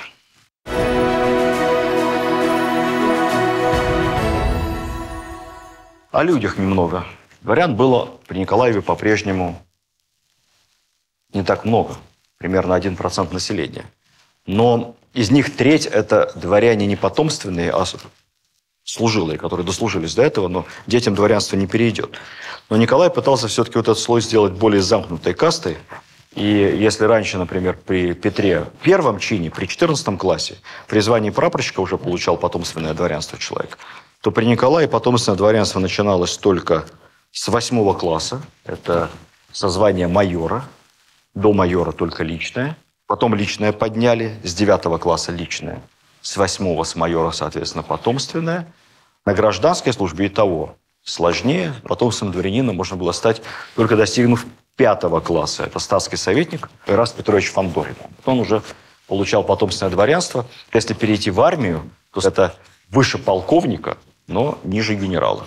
Пытались как могли помогать дворянам, выдавали даже бесплатные государственные земли, если дворянин хотел и имел средства и желание заняться земледелием где-то там, в Курганской области, на Урале, он мог ходатайствовать и получить от государства бесплатную землю, переехать, но там дальше уже сам. Обосновываться, ну тогда бы он был не дворянином, а предпринимателем. Таких у нас, к сожалению, было мало. Появилась еще одна новая категория при Николае – почетные граждане. Это не то, что сейчас почетные граждане Петербурга, которых очень мало. А тогда это социальный слой, который пытался создать Николай. Не обычные мещане, проживающие в городах, а мещане, имеющие большой набор личных прав – и этот статус э, передавался по наследству. Им очень гордились. Иногда иностранцам его вручали за какие-то заслуги. Например, почетных граждан освобождали от рекрутской повинности, от некоторых налогов. Давало это право избираться на разного рода общественные должности. Их освобождали от телесных наказаний. Это не было какой-то дикостью, это была общая практика в правовой системе всех государств того мира. Были разные виды наказания за разные преступления, не считая смертной казни. Смертной казни, кстати, при Николае не было. Считается, что при Николае повесили только первых декабристов и все. Это не совсем так. Было еще несколько расстрелянных военными судами во время восстания в Польше.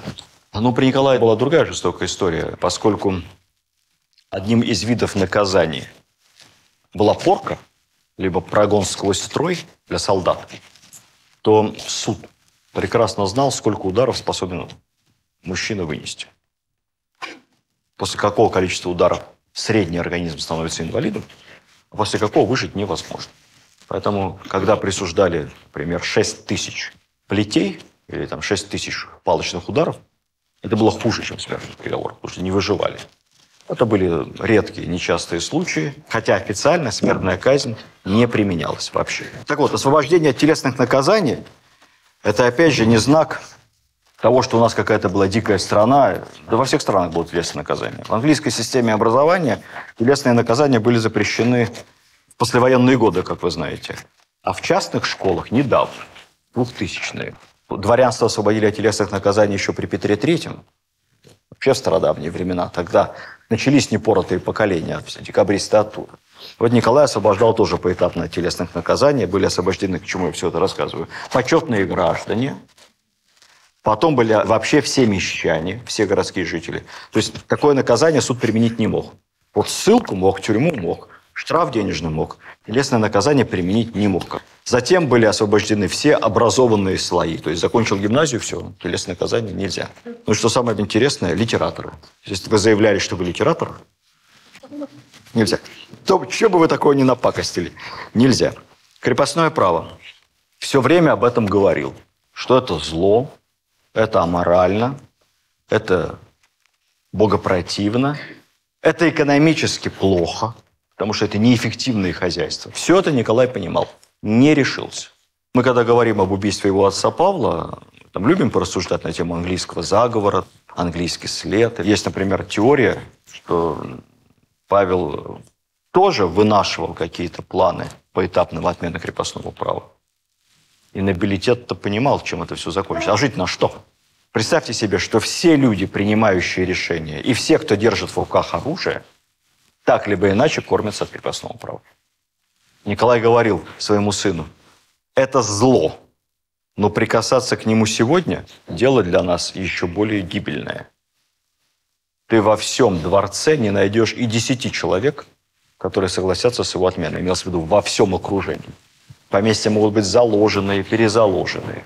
Работать там могут по барщине, либо по оброку. Но это источник денег.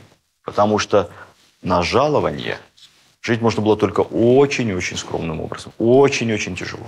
Поэтому сломить эту систему не решались. Но не надо думать, что вот 1% дворян, там, скажем, 10% горожан и всех остальных вместе взятых, горожан, духовенство, это, а 90% крестьян крепостных. Не так. Во-первых, количество крепостных крестьян при Николае сокращалось. Было много принято всякого рода актов, которые вели к сокращению числа крепостных крестьян и переходу их в иные сословия. Государственные крестьяне, право выкупаться. Например, имение продается с долгов. И крестьянин, если у него есть деньги, мог выкупить себя тут же, пользуясь случаем, на свободу. Это всячески стимулировалось. Из этих 90% большинство – это государственные крестьяне. Что такое государственный крестьянин? Это, по сути, арендатор. Это лично свободный человек. Хочет, пошел, занялся купеческой деятельностью. Хочет, отдал своих детей в гимназию, даже в университет. Он свободен уйти куда хочет.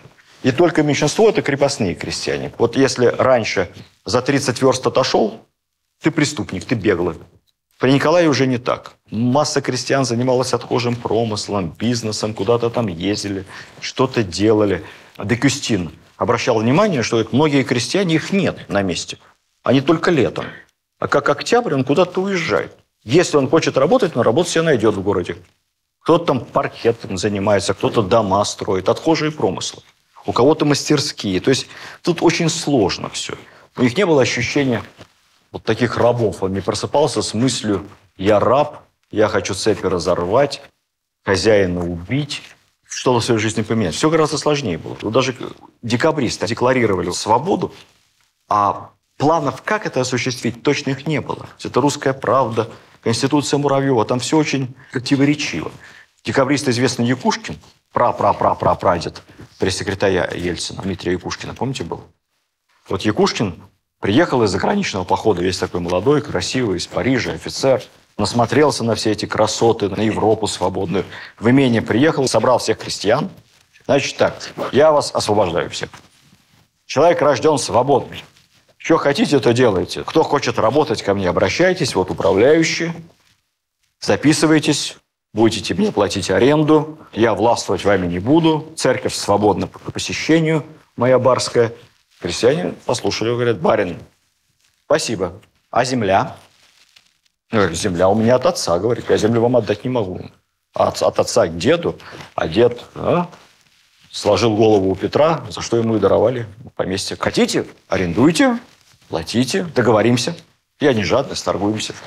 Угу. А крестьяне были на барщине. А почем арендовать? С кем торговаться будем по земле? С этим управляющим? Не, мы с ним торговаться не будем, мы его знаем. Я, барин, давай по-старому. Мы ваши, а земля наша. Мы два дня на тебя как-нибудь поработаем. Поэтому все сложнее было. Не решился Николай на отмену крепостного права. Восемь секретных комитетов было создано по отмене крепостного права. Восемь, один за другим. Разрабатывали проекты так освободить, этак освободить. А может, вот так вот. Александр провел эксперимент, старший брат, отменил крепостное право в Прибалтике. Что получилось? Их освободили без земли. Думаете, они стали арендаторами? Они не договорились. У них, во-первых, нет денег платить аренду, у них капитала нет гарантировать. Это что-то сложно. Они батраками стали. Стали батрачить за зарплату на той же громадной латифундии Оздейского барона. Они там в основном лютеране в Прибалтике. Десятки тысяч крестьян после освобождения Прибалтики принимали православие и говорили, мы хотим хоть в казачество переехать, хоть на крайний север, хоть на Камчатку. Вы нам дайте землю, запишите нас или в государственные крестьяне, или хоть в крепостные какому-нибудь доброму барину, но я уже батрачить больше не могу здесь. Вот к чему привело такое освобождение без земли. Поэтому секретные комитеты думали, думали, но ничего толком не придумали. И решил Николай это просто отложить. Может, как-то рассосется следующими поколениями. Киселев проводил реформу государственных крестьян, что-то у него потихоньку получалось. Местное самоуправление вел. Вот эта знаменитая община, которую потом Столыпин разрушал. Она главным образом появилась при Киселеве. Общинное самоуправление. Но зато Николай ничего не боялся. Он ведь не только по утрам гулял с собачкой по Дворцовой набережной. Николай вообще был последний император, который гулял по городу один.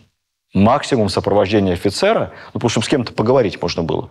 История знает массу случаев, когда он мог подойти, например, к э, разношатающимся э, военнослужащим, попросить, а вы что здесь делаете? Увольнительные документы покажите. Где служите? Почему не по форме одеты? Как-то заметил двух пьяных матросов. Матросы стали от него убегать.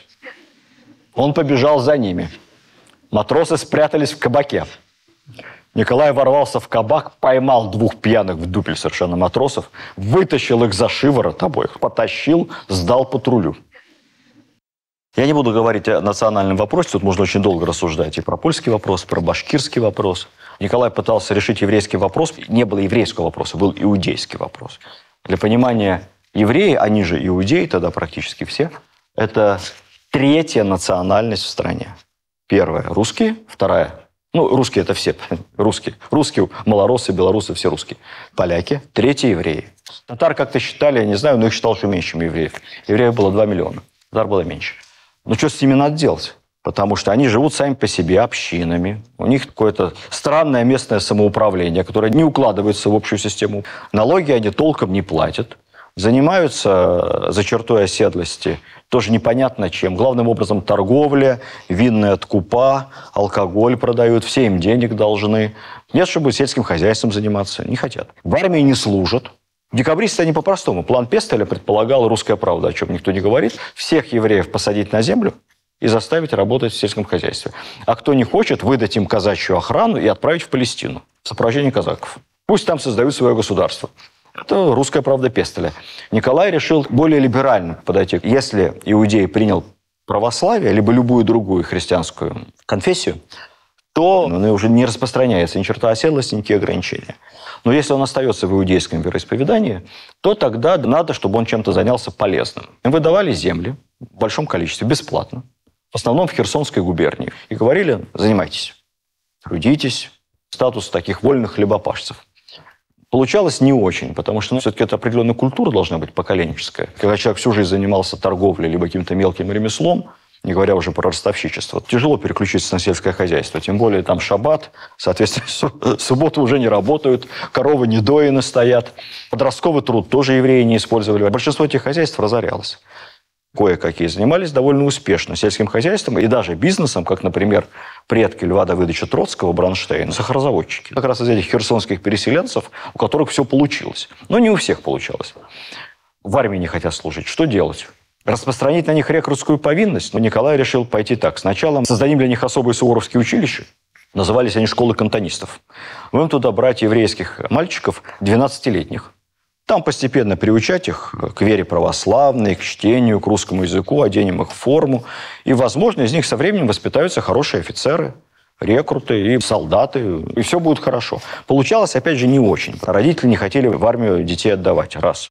Начался массовый киднеппинг, то есть воровали еврейских детей у бедных семей и от себя сдавали в школу кантонистов. Как всегда у нас, если бы они были материально правильно обеспечены, там хорошо кормили, хорошо учили, ну, это было бы, наверное, здорово. Ну, такими у нас были кадетские корпуса императорские, такими у нас был какой-нибудь шляхетский корпус или пажеский. А кантонисты были по остаточному принципу. Поэтому все там было плохо. Дети там болели. Поэтому, в общем-то, ничего хорошего из этого, к сожалению, у Николая не получилось. Хотя родилась масса анекдотов потом на эту тему. Кантонистских офицеров и солдат идет Николай с пуделем по Дворцовой набережной, стоит на посту какой-то унтер-офицер, там как раз Пасха. Он говорит Николай ему, Христос воскресе. Тут его отвечает, никак нет, Ваше Величество. Это неправда. Оказался иудей.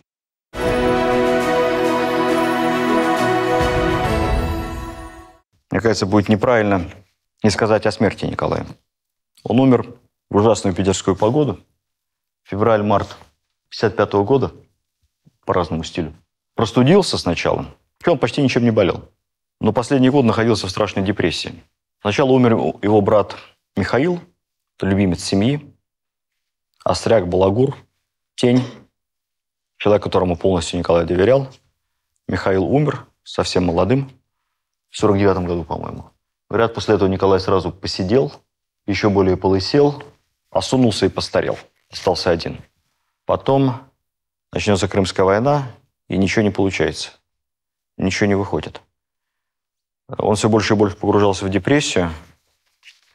Пошел провожать войска перед отправкой на фронт. Смотр, обожал все эти смотры, парады. По уставу положено принимать парад в мундире в январе 1955 года, без э, шинели, без теплого шарфа, фуражки и мундире. Простудился. Грипп на ногах, ходил, кашлял. Хуже и хуже и хуже, температура. Императоры и офицеры не болеют, поэтому это ерунда. Мужчина гриппа не боится. Через две недели новая отправка войск на фронт, опять построение. Опять ему говорят, вам лежать надо, лежать, лежачий режим. Пейте чай с малиной. Нет, нет, нет, нет, нет. Опять в мундире, на улице минус 22. Вот. Он не на улице принимал, по-моему, в манеже или в каком закрытом помещении. Отопления не было. На улице минус 22, там, наверное, минус 12, минус 15. Постоял пару часов, вернулся. Началось страшное воспаление легких. Рентгена тогда не было. Описательное воспаление легких. То есть мокрота, кровь, затрудненное дыхание, еле дышит. Промучился еще несколько дней. Вызвал врача к себе. «Сколько мне осталось?» Спросил. Врач послушал. Судя по признакам, несколько часов, государь. Оденьте меня. Встал с кровати, у него была походная кровать железная такая, складная. Одел гвардейский мундир, сапоги, лег обратно на кровать, укрылся шинелью, потому что страшно озноб. И вот так под шинелью и скончался. Пригласил к себе перед смертью попрощаться жену, детей, так офицером в военной форме и умер. В завещании он написал, я процитирую, «Я был человеком со слабостями, старался исправиться. В одном я успевал, а в другом нет. Прошу искренне меня за это простить». Похоже на Бориса Ельцина, последнее обращение. Но с той лишь разницей, что при Николае Европа трепетала, страна увеличилась существенно, много всяких земель собрал вокруг нас. Как говорят, достиг пика геополитического влияния. Ну, а многого, наверное, действительно не смог. Не смог, потому что думал, что все можно контролировать самому. Думал, что он лучше всех знает, что ему нужны просто толковые исполнители. Если они будут правильно и честно вести дело, то все получится. Что инициатива человеческая – это дело вторичное, на что-то не решался, с какими-то реформами затягивал. Хотел как лучше. Работал больше всех. 18 часов в день. Средний рабочий день императора. Выходных не было. Наверное, мы тоже должны его простить, если что-то не получилось. По крайней мере, помнить не как Николая Палкина, душителя Пушкина. Пушкин, кстати, относился к нему с огромным уважением. А Николай, как мы знаем, после смерти закрыл за Пушкина все долги и материально обеспечил всю его семью и детей. Надо пытаться в истории относиться к ее деятелям с пониманием. Я каждый раз говорю, что хорошо относиться к тем либо иным нашим правителям, хуже относиться, но не надо думать, что они просыпались с утра и думали, как бы еще напакостить своему народу. Кого бы еще побить палками? Кого бы еще повесить и растерзать? Нет, конечно. Он просыпался в 7 утра и думал, что я могу еще сделать хорошего для того народа, которым я не хотел править, от чего я всячески отказывался. Но вот Господь так меня заставил, я буду свой долг исполнять. И вот я вчера ночью, опять же, к этому памятнику подошел на Исаакиевской площади. Мне кажется, плохо сделали, что в 92 году восстановили этот забор. Не призываю его убирать, стоит и стоит. Но неправильно памятники огораживать забором. Подойти нельзя. Цветы возложить нельзя. Перелезешь через забор, ты хулиган, там тебя милиция арестует. Зачем? Памятник существует для того, чтобы мы могли как-то выразить к этим людям отношение, уважение свое, почтение, память. Можно было к этому памятнику подойти, потрогать его. Мы этими заборами только отделяем от себя реальных живых людей, которые делали нашу историю. Поэтому, когда не будет заборов между нами и памятниками, может быть, мы станем свою историю понимать чуть-чуть получше.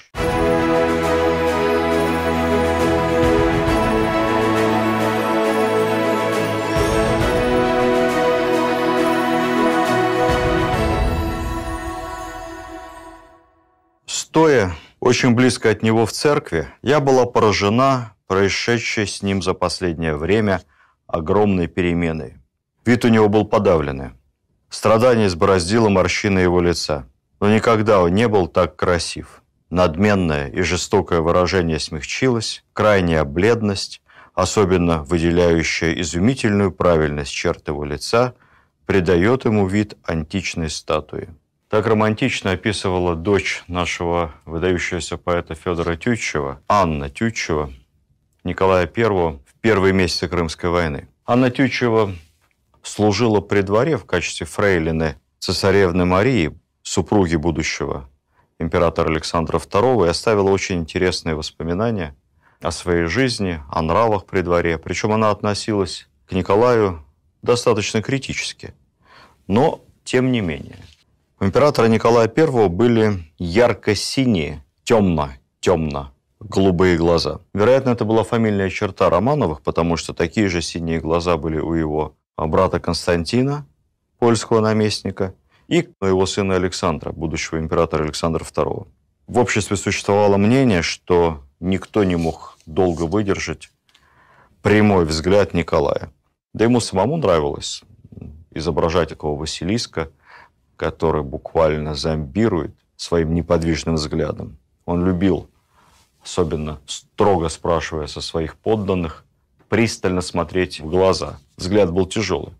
Чувствовали себя подданные неловко. Тем не менее, надо отметить, что хоть Николай и нагонял на себя такой подчеркнуто строгий вид, в расслабленном состоянии он, безусловно, обладал определенным обаянием и умением действительно воздействовать на окружающих. Я приведу слова известного ненавистника России и всего Николаевского режима, участника польского восстания 1830 года, впоследствии эмигрировавшего из империи, некого Чайковского. Специально привожу слова человека, который Николая терпеть не мог.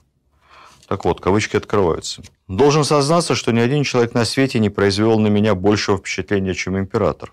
Он был в то время во всем цвете красоты и царственного величия. По росту, осанке, выражению лица он казался владыкой мира. Лицо его было загорело, и только лоб, прикрытый козырьком каски, был бел. В нем было какое-то обаяние и величие. Николай очень любил носить свою фирменную военную каску. Вот она специально захватила ее с собой в студию.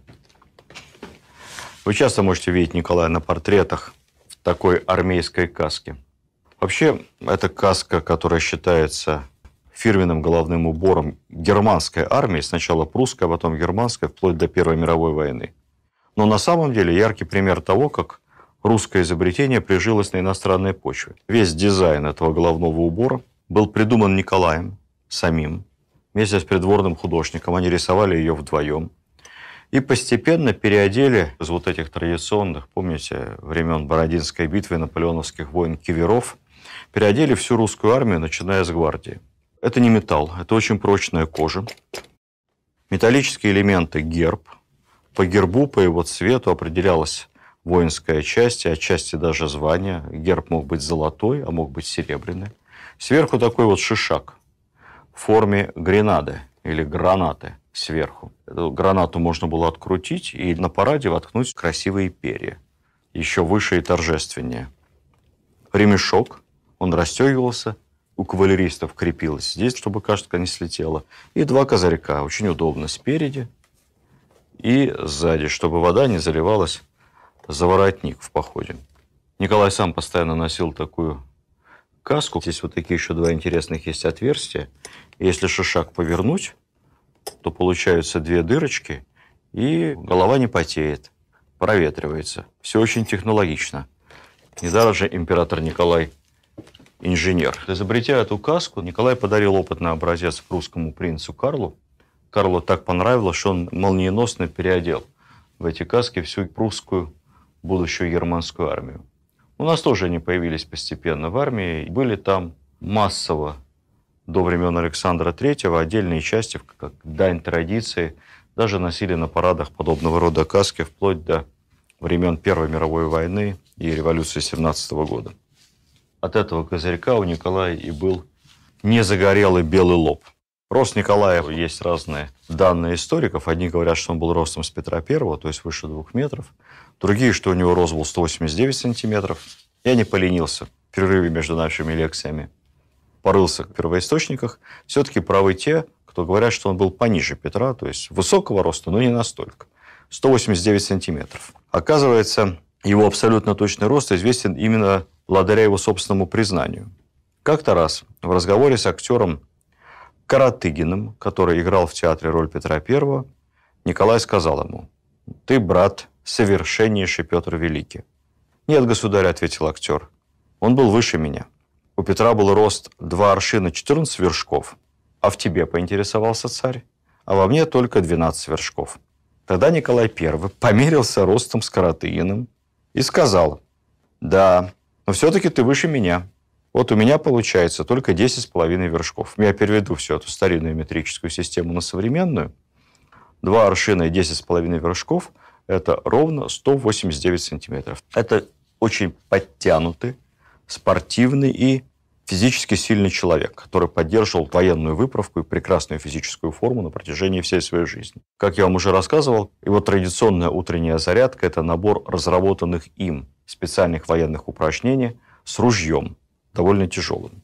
Однажды в разговоре с императором его министр, самый либеральный министр императорского правительства, граф Киселев, похвастался, что он очень любит играть в кегли, и кегли полезны для здоровья. Мы понимаем с вами, что это не современные кегли, тогда никаких кегельбанов автоматических не было. Палку бросил, кегли сбил, дальше сам побежал ставить их назад, то есть это такая игра активный. Ходишь вперед-назад, постоянно расставляя что-то похожее на городки. Поэтому эстетика фильма «Биг Лебовский» была графу Киселеву непонятна. Это все-таки активная игра. Но, тем не менее, Николай все равно сказал, что это какое-то детство, ерунда. И он считает, что для здоровья мужчины гораздо полезнее упражнения с ружьем, более тяжелые. Он даже добавил, что 20 лет не проходило ни дня, чтобы я с большой пользой для здоровья не занимался этим движением, как называл он, деланием ружьем. Делание ружьем было особой николаевской спортивной гимнастикой. Наверное, его ироничное отношение к кеглям распространилось бы и на современный бадминтон, но я вашу иронию в данном случае не разделю, потому что бадминтон действительно очень полезен, особенно для тех, у кого плохое зрение, близорукость. Ни один вид спорта так не помогает, ну, естественно, в детском подростковом возрасте, компенсировать близорукость и остановить ее развитие, как бадминтон. Если вам будет интересно, залезьте в интернет, это не относится к нашей э, лекции, и посмотрите, почему. Не пинг-понг, не теннис, именно бадминтон. Если ваши дети носят очки, заставляйте их играть в бадминтон. Возвращаемся к Николаю. Есть много истории о доступности Николая, его сердобольности, его стремлении помочь простым людям. Мне сложно сказать, в какой степени эти истории придуманы николаевскими пропагандистами или подхалимами, а в какой степени они имели место быть на самом деле. Я думаю, что дыма без огня не бывает. Но исторических анекдотов, подчеркивающих такое открытое сердце Николая, действительно довольно много. Вот, например, он любил на Масленицу ездить в открытых санях или в закрытых санях, если очень холодно, и катать детей по Петербургу. Ну, просто собирал каких-то там мальчишек, девчонок местных из хороших или не очень хороших семей. И они катались, веселились вместе с императором. Как-то раз какой-то оборванец, беспризорник, Геккельберифин местный, прыгнул на эти сани на запятки. Николай обернулся, заметил его, подхватил и отвез, сдал всероссийской бабушке мать Николая отвечала за благотворительность, очень много сделала для развития благотворительных учреждений в России. Мать определила беспризорников какое-то благотворительное заведение. Такие случаи не единичны.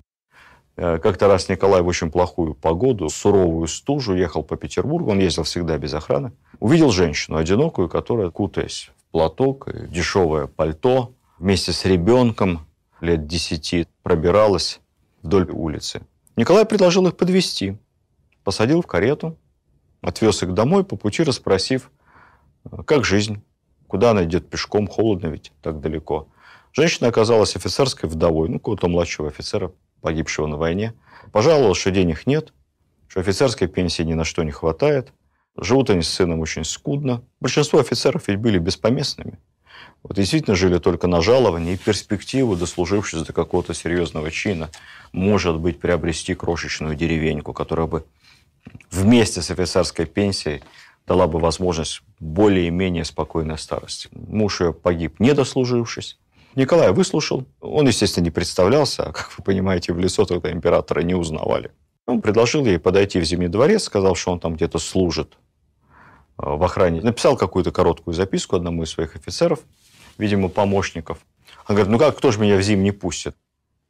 Вот вам рубль серебряный, это как пропуск, по этому рублю вас туда пустят, все ваши проблемы решат. Вот так, не зная, от кого она получила серебряный рубль, на следующий день пришла в Зимне, ее встретил кто-то из адъютантов Николая, попросил описать все события ее жизни, все было проверено, личность была удостоверена, после чего ребенок был определен за казенный счет в кадетский корпус.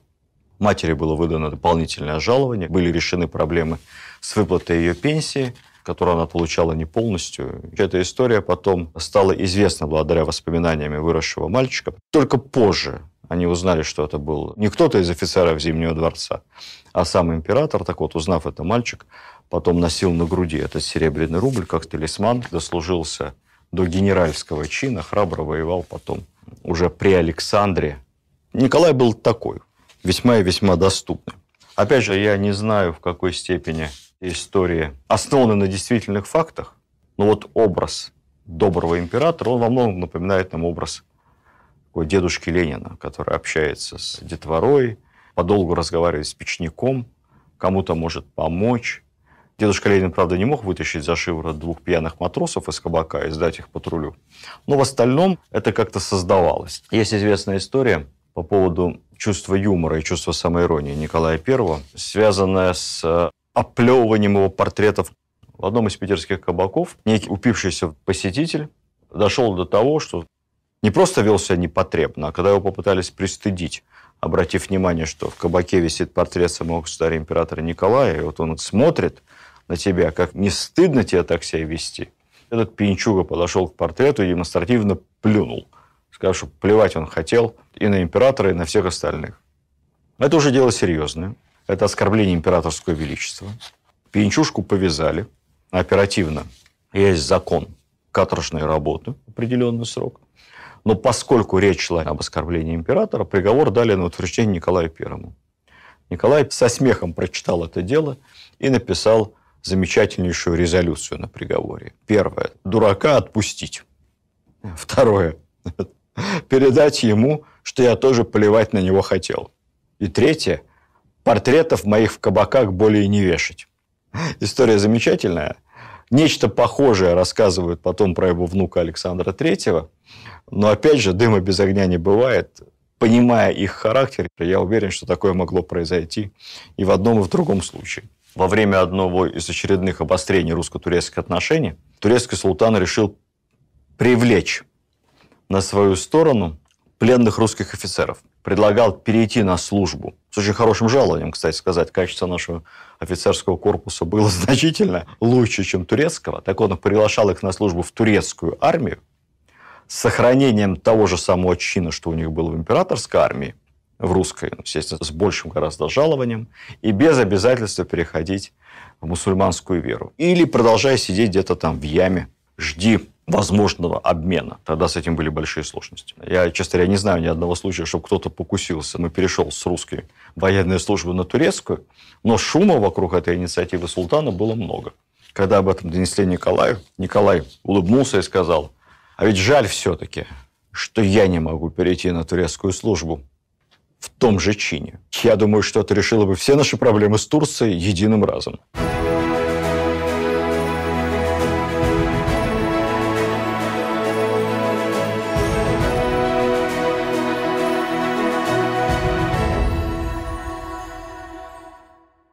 При всей своей непритязательности в быту Николай был щепетильно чистоплотен. Менял белье нижнее всякий раз, когда переодевался. А переодевался он подчеркнуто просто, по-военному. Вообще, единственная роскошь, которую он себе позволял, забавный нюанс, были шелковые носки, к которым он привык с детства.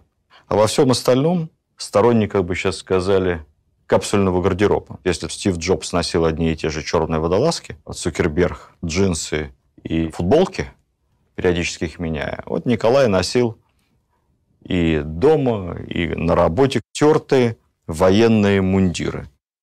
Берег свое платье и не любил делать ничего нового. При этом даже за письменным столом в кабинете он работал в одном и том же армейском военном мундире с протертыми локтями, зашитым, иногда с заплатками. В этом отношении показывал образец действительно скромности и непритязательности. От своего отца он унаследовал странное качество. Николай не любил очков. Почему-то считал, что очки – это признак вальдодумства и неблагонадежности. Но дело в том, что очки были вещью модной, и зачастую их носили не только те, у кого реально было плохое зрение, а просто чтобы модно выглядеть, с обычными линзами, без диоптрии. Это Николая необычайно раздражало. Очки были какое-то время даже запрещены при дворе. Кстати, не только при Николае, но и ранее при его старшем брате. Пользоваться разрешалось только ларнетом, соответственно, поднося глазам, чтобы разглядеть какие-то детали, либо прочитать текст, если у вас дальнозоркость. Как-то в Харьковском университете Николаю бросился в глаза студент в таких больших толстых линзах. Николай грозно спросил его, а зачем вам очки? Студент не растерялся и бойко ответил, без очков я не имел бы счастья лицезреть Ваше Величество. Николай посмеялся. Говорят, больше к очкам не приставал. В Царскосельском лицее, самым элитным из учебных заведений той поры, очки были запрещены вообще. Тогда близорукость была большой-большой редкостью. Ну, попался и студент с близорукостью, друг Пушкина Антон Дельвих. Почитайте его воспоминания, это очень забавно. Дельвих писал, что как только я выпустился из лицея, ну сколько ему было к тому моменту, лет, наверное, 17-18, и наконец-то смог одеть очки – мир буквально перевернулся. Ибо я осознал, что все молодые женщины вокруг меня не так идеально прекрасны, как мне казалось в лицее. Николай танцев не любил, охоту не любил, охотился очень редко в зверинце недалеко от Гатчины, зато играл в шахматы, играл хорошо. Кстати сказать, я недавно сам узнал, впервые интересуясь историей Петровских ассамблей, что на их ассамблеях в самом-самом начале в карты ведь не играли. Играли в шахматы. Считалось правильной настольной игрой для дворян Петровской эпохи. Не могу с этим не согласиться. В Николаевскую эпоху самая популярная дворянская игра для мужчин – это бильярд. Вот бильярд Николай играл, любил, игра офицерская – но постепенно стал поигрывать в карты, играл очень мало и на очень маленькие ставки, как его бабушка Екатерина. А вот заядлых картежников терпеть не мог. И официально резко выступал против азартных игр на деньги и игровых притонов, которые приводили тогда к разорению целых дворянских семей. Согласно указу 1832 года, Сенату было приписано прикрывать подобного рода подпольные казино, а всех игроков, цитирую, предавать суду для строгого по закону наказания без всякого различия звания и чинов, усугубляющих по мере возвышения он их виновность. Ну, то есть, чем выше вы в чине, а предаетесь при этом порочным карточным играм, тем более будет для вас наказание. Не могу не согласиться, что в этом отношении государь-император был абсолютно прав. Если мы вспомним с вами судьбу Александра Сергеевича Пушкина и какую негативную роль в его финансовом положении играло увлечение карточными играми, я думаю, мы все с вами с Николаем согласимся. Тройка, семерка, туз – это была большая проблема для нашего великого поэта. И не только для него. Недавно в Малом театре посмотрел замечательную постановку, классическую, простую, и в то же время настолько легкую, интересную и современно звучащую, под несложным названием «Игроки». Николай Васильевич Гоголь. Вспомните. Николай Васильевич писал эту легкую пьесу, ну, фактически, по криминальной хронике той поры, описывая похождение профессиональных, как бы сейчас сказали, картежных банд, которые, вступая в сложную систему сговора друг с другом и путешествуя по России, в пух и прах обыгрывали и разоряли молодых наивных помещиков и офицеров-дворян. Так что игроки, я вам рекомендую, посмотрите. Николая часто сравнивали с Петром Великим и с Екатериной, особенно в части их трудолюбия. Однако сравнение с Екатериной Николай не любил, признавая ее заслуги перед государством в личном плане, считал ее позором семьи, позором в нравственном отношении. После смерти Екатерины в кладовых Зимнего дворца нашелся шкафчик из ее личных вещей. Там было все аккуратно сложено, описано, опечатано еще при Павле. Там хранились там румяна Екатерины, зубные щетки. Ну, зубные щетки тогда были. Не надо думать, что наши предки были чужды гигиене. Они вошли в моду еще в XVIII веке. Так вот, зубные щетки, гребни для волос, какие-то маленькие, судя по всему, кофейные чашечки. Мы помним с вами, что Екатерина обожала кофе, всегда пила кофе по утрам. Очень-очень крепкий, невероятно. Все это Николай приказал уничтожить, шкафчик выбросить, вместе со всем содержимым, даже его не осмотрев. Более твоем негативе, безнравственной, на взгляд Николая, бабушки, он даже приказал переплавить оставшиеся после нее 14 серебряных сервизов серебряный сервиз той поры – это не наши сервизы современные, которые стоят у нас в сервантах, там на 6 или у кого большой сервант на 12 персон. Сервиз того времени – это несколько тысяч единиц самых разных чашек, тарелок, супниц, кофейников, блюдец, приборов. Все это, как правило, заказывалось в дорогих фабриках во Франции. Среди них был особенно изысканный так называемый Орловский сервис, сделанный специально в подарок Грише Орлову, 3274 предмета. И все из серебра, представьте себе. Ну, так вот, все это было переплавлено. Чудом сохранилась одна серебряная супница. Она потом в 30-е годы уже минувшего века была продана за границу, когда отчасти музейные предметы мы вынуждены были продавать, увы, за валюту. И вот в наше время, я посмотрел, эта супница одна – была продана на аукционе Кристис за 2 миллиона долларов. Так что представьте себе, какова была бы стоимость сервиза. В коллекции Эрмитажа кое-что осталось, конечно, но это считанные единицы.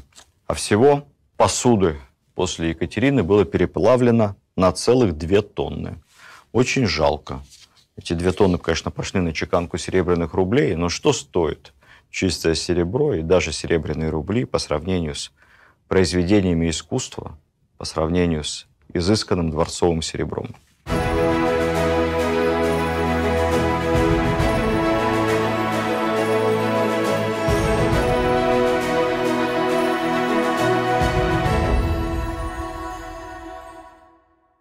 Николай всегда очень нравился женщинам. Даже когда достиг по тем временам преклонных лет. Тому есть масса свидетельств. Леди Блумфильд писала о Николае которому было уже за 50. Я встретила императора на спектакле у Воронцовых-Дашковых. Он бесспорно самый красивый мужчина, которого я когда-либо видела. И его голос, и обхождение чрезвычайно обаятельны. Та же самая Фрейлина Тютчева, относящаяся к Николаю как политику, с большим скепсисом. Тембр его голоса был также чрезвычайно приятен. Я должна поэтому сознаться, что сердце мое было им пленено, хотя по своим убеждениям я оставалась решительно ему враждебны. Хорошая черта Николая, как и его брата Александра. Не было много друзей, но они были очень привязчивы к своим друзьям молодости, к симпатичным им людям.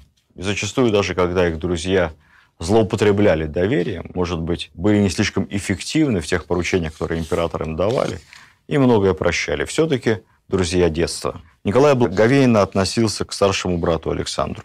Я напомню, между ним была разница почти в 20 лет, и Александр для него как отец. В личной переписке с женой Николай называл его «наш ангел». Кстати сказать, может быть, именно поэтому на Александринском столпе, воздвигнутом Николаем в честь победы над Наполеоном и в честь своего брата Александра, у ангела, посмотрите, если сможете, находящегося на самой вершине этой колонны, у ангела черты молодого Александра. Еще одна черта, которая мне нравится. Николай коллекционировал и любил холодное оружие. По преданию, его коллекция началась с турецкой сабли, которая была взята Кутузовым у турецкого паши еще в 1811 году на Дунае. Ну, впоследствии он собирал, собирал, собирал, и так родилась знаменитая царскосельская коллекция, как ее называют, царскосельский арсенал. Я помню, в бытность службы в Министерстве культуры мы отреставрировали в Царском селе здание арсенала, и там сейчас замечательная экспозиция. Приходите и посмотрите. Вообще, кто не был в Царском селе – вы ничего не видели. Обязательно съездите, проведите там хотя бы пару дней. Николай много сделал для развития русской армии. Во-первых, именно тогда появилась при каждом армейском корпусе так называемые резервные дивизии, то есть был заложен принцип кадрирования армии. Батальоны состояли из половинного штата, офицеры были, а рекруты в случае войны донабирались. Таким образом, общие расходы на армию уменьшались. Именно при Николае открылась первая военная академия, императорская, будущая академия генерального штаба. При Николае открылось 14 сразу новых кадетских корпусов, а при всем при этом срок службы рекрутов сокращался. Сначала с 25 лет до 20, а потом уже в конце царствования и до 15.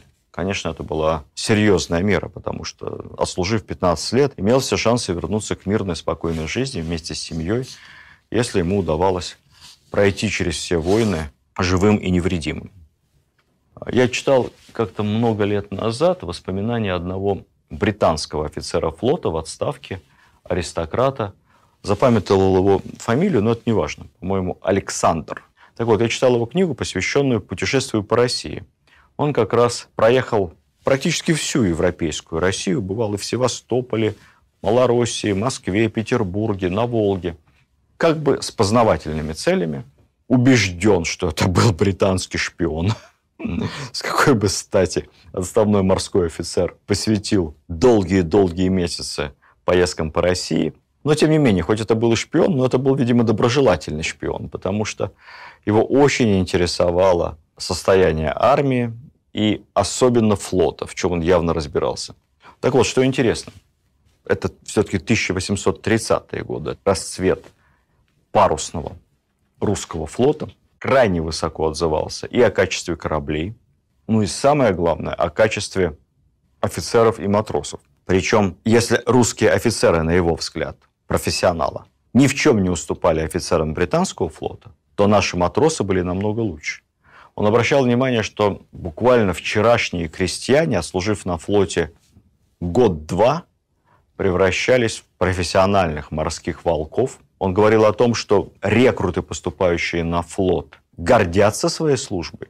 Служба очень тяжелая. И отношения между русскими офицерами и матросами не в пример благороднее и уважительнее, как ни странно чем отношения на британском флоте. И, конечно, офицер относился к матросу, который мог быть вчерашним преступником, беглым, ну, либо просто нанявшимся бродягой за гроши на флот, безусловно, как человеку не второго, а даже третьего сорта. Николай не только сам любил ходить в мундире военном и не снимал его ни в домашней обстановке, но и практически одел в мундиры всю Россию. Не только армия, но и гражданские мундиры. Была введена единая система отличия должностей по мундирам. Мундиры были одеты все государственные чиновники. При этом предусматривалась парадная, праздничная форма, будничная, особая, дорожная, летняя. В общем, этом было не мудрено запутаться, но фактически на все случаи жизни у тебя был мундир. Даже студенты носили мундиры, специальная была у них форма, красивая, с золотом шитыми петлицами на воротничках и со шпагами. Шпага э, у студентов была, правда, без темляка, но тем не менее вполне настоящая и вполне себе боевая. Как-то это придавало строгости и ответственности. Не надо было задираться, а то ведь, не дай бог, дойдет дело до шпаг. Наверное, были студенты более вежливыми. Я тут не захватил с собой.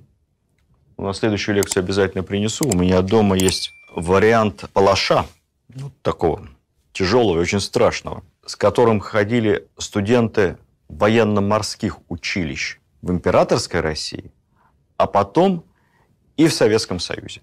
Эти палаши отменили у нас только после Великой Отечественной войны, где-то в 50-е годы, когда было несколько случаев, ну, скажем так, хулиганского применения может быть, по нетрезвому делу этих палашей в пьяных драках. Вот тогда решили все-таки от этого отказаться. Ну, я скажу вам, серьезное оружие. И э, если это было оружием сдерживания и оружием чести, наверное, в этом был определенный смысл. По поводу мундиров и шинелей, чтобы вы не думали, что у нас это музейные экземпляры находятся в студии просто так. Справа от меня настоящая армейская шинель Семеновского полка Николаевской эпохи. Примерно в таких шинелях, кстати сказать, ходили не только семеновцы, а все младшие чины. Лейб-гренадеры именно в таких шинелях вышли на Сенатскую площадь 14 декабря 1825 года. Шинель появилась в нашей армии при Павле Первом. Это было замечательнейшее нововведение, которое спасло от болезни обморожения многие поколения наших солдат. И была она поначалу немного другой, чем шинель современная. Ну, во-первых, у нее был такой вертикальный воротничок, симпатичный, разного цвета. По цвету можно было определить род войск, иногда даже воинскую часть, ту либо иную, погоны поверх шинели. Далее, награды можно было прикреплять на шинель, то есть не на мундир, а прямо на шинель, медали, ордена. Сзади эта шинель была не как сейчас, таким вот хлястиком с двумя пуговицами стянута по талии, а она, наоборот, имела несколько складок. Эти несколько складок хлястиком стягивались и застегивались. А почему несколько складок? Потому что если хлястик снять и шинель растянуть, то она увеличивала своей площади, ну и расстегнуть спереди, естественно, ну, наверное, раза в полтора. И превращалась в очень удобное зимнее одеяло. В жаркую погоду можно было эту шинель одеть прямо поверх рубахи, и тогда мундир не занашивать либо же свернуть. Шинель сворачивалась в очень удобный валик. Этот валик носился через плечо. Кстати сказать, во время боя вполне себе дополнительная защита. Кавалеристы складывали в шинель еще более плотный валик и крепили его спереди на седле. Поэтому кавалерист в походе, перед ним валик с шинелью. Замечательное фирменное изобретение нашей армии, прожившее два с лишним века. Я не буду подробно рассказывать о политических репрессиях, о подавлении вольнодумцев, о несчастных петрошевцах. Все мы это проходили в школе, по крайней мере, в хорошей советской школе. Но не упомянуть третье отделение, его императорского величества канцелярии и графа Бенкендорфа я, конечно, не могу. Однако, будем честны, третье отделение было не просто органом политических репрессий, как принято считать. Вообще Бенкендорф, герой войны 812 года, храбрый боевой генерал, плюс ко всему еще и личный друг Николая, а вы помним, как Николай был привязан к своим друзьям. Он был человеком очень тонким и интеллигентным, гораздо тоньше и умнее, чем представляли нам его в упрощенную версию в советском кратком курсе. В первую очередь он опирался на общественное мнение. И это, наверное, был первый топ-чиновник в нашей истории, который полагал, что принимая те либо иные решения, власть должна обязательно учитывать состояние общественного мнения в стране, как она эти указы будет воспринимать. Он даже сказал как-то, что общественное мнение также важно для политика, как знание топографической карты для командующего. Когда Бенкендорф предложил создать политическую спецслужбу, третье отделение, предложил структуру этой спецслужбы. Николай поддержал его, но по легенде Бенкендорф спросил дать ему как бы финальную царскую инструкцию для третьего отделения. Император протянул ему платок, чтобы вытирать слезы несчастных, со словами «Вот тебе моя исчерпывающая инструкция. Что себя представляло третье отделение? В него входило несколько отделов. Первый секретный, собственно, это и был орган политического сыска и следствия. Второй отдел занимался делами раскольников, то есть вопросами религиозными, вот, которых Николай, кстати сказать, не преследовал, потому что полагал искренне заблудшими душами, кое надо перевоспитывать. Третий отдел – слежкой за иностранцами предтечи КГБ вполне. Четвертый отдел – крестьянским вопросам в части злоупотреблений помещиков. И, наконец, в конце уже 1840-х годов был создан пятый отдел, так называемый цензурный. Штат третьего отделения, не поверите, центрального аппарата. Поначалу 16 человек. Но к концу царства Николая, конечно, численность его разрослась и достигла немыслимой 40 человек. Так что это не современные органы безопасности. Правда, если говорить откровенно, у него были еще и органы на территориях. Это так называемый отдельный жандармский корпус. По всей стране были созданы жандармские округа с генералами, которые были подчинены лично шефу жандармов. Они, естественно, находились вне юрисдикции местных властей, поскольку задача как раз жандармов на местах было пресекать злоупотребление местной власти. Я упомянул сейчас цензурные цели а, третьего отделения. Скажем пару слов о цензуре. Нам всегда говорили, что Николай буквально задушил культуру, литературу, театр своим цензурным уставом, который был хлестко назван чугунным. Да, действительно такой устав появился вскоре после восстания декабристов. Об этом во всех учебниках истории написано. И действительно, при Министерстве просвещения было создано целое цензурное отделение штатом цензоров, которые прежде чем выходил какой-то спектакль в столичном театре, прежде чем публиковалась «Стали бы иная» книга, эти цензоры, читать-то они, честно говоря, ничего не успевали, но пролистывали, просматривали. А если авторы были подозрительные, то, может быть, просматривали это более внимательно. Мы это все знаем, Правда, мы не знаем, что буквально через пару лет чугунный цензурный устав отменили, и появился другой, более мягкий, так же, как мы не знаем, что долгое время главным цензором был поэт Федор Тютчев. Не надо думать, что цензоры были такими уж безграмотными.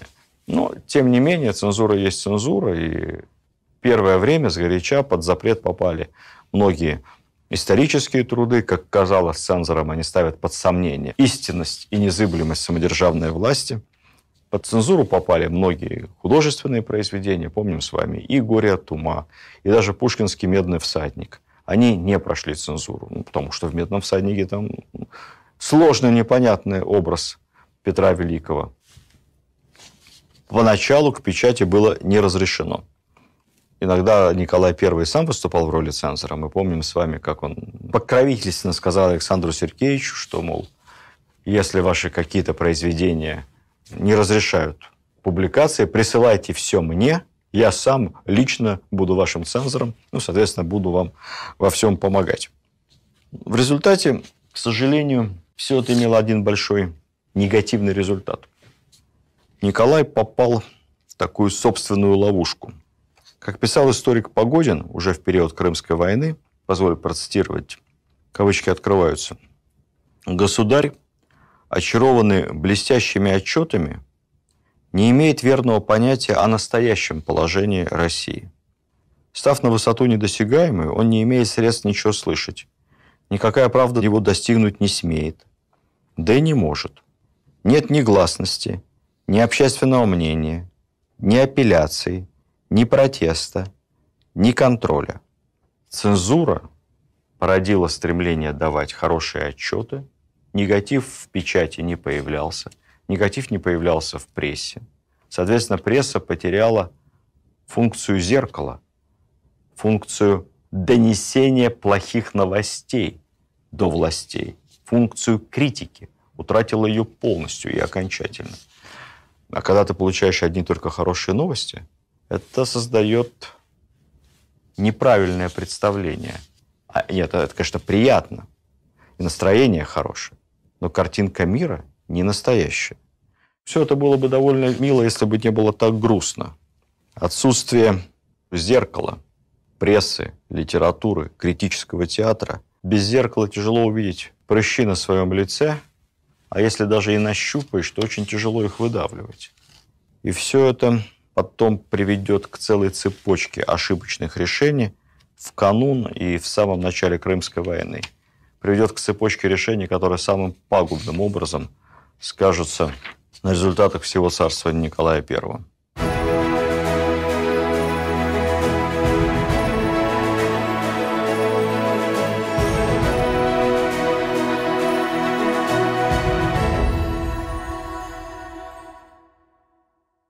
развеем несколько мифов об отношениях Николая I и Александра Пушкина. Отношения у них были. Это были отношения личные. И хотя Николай, э, как считалось, поэзию любил, но, честно говоря, не слишком в ней разбирался, было не его. Ему больше нравились исторические романы, но мы ведь и не ждем литературоведческих талантов от императора. Но в то же время он и не был никогда никаким самодуром, тиранищем Пушкина, как учили нас в советской школе. Более того, на литературном обеде в 1727 году Пушкин сказал, «Меня должно прозвать или Николаевым, или Николаевичем ибо он, государь-император, дал мне жизнь, и, что гораздо более, свободу. Виват. При этом в письме Чадаеву, спустя несколько лет он писал, «Хотя лично я сердечно привязан к государю, я далеко не всем восторгаюсь, что вижу вокруг себя». Поэт был мудр. В 1731 году Пушкин получил право доступа к архивам и очень высокооплачиваемую государственную должность Министерства иностранных дел. Он написал, что хотел бы создать историю Петра Великого и его наследников.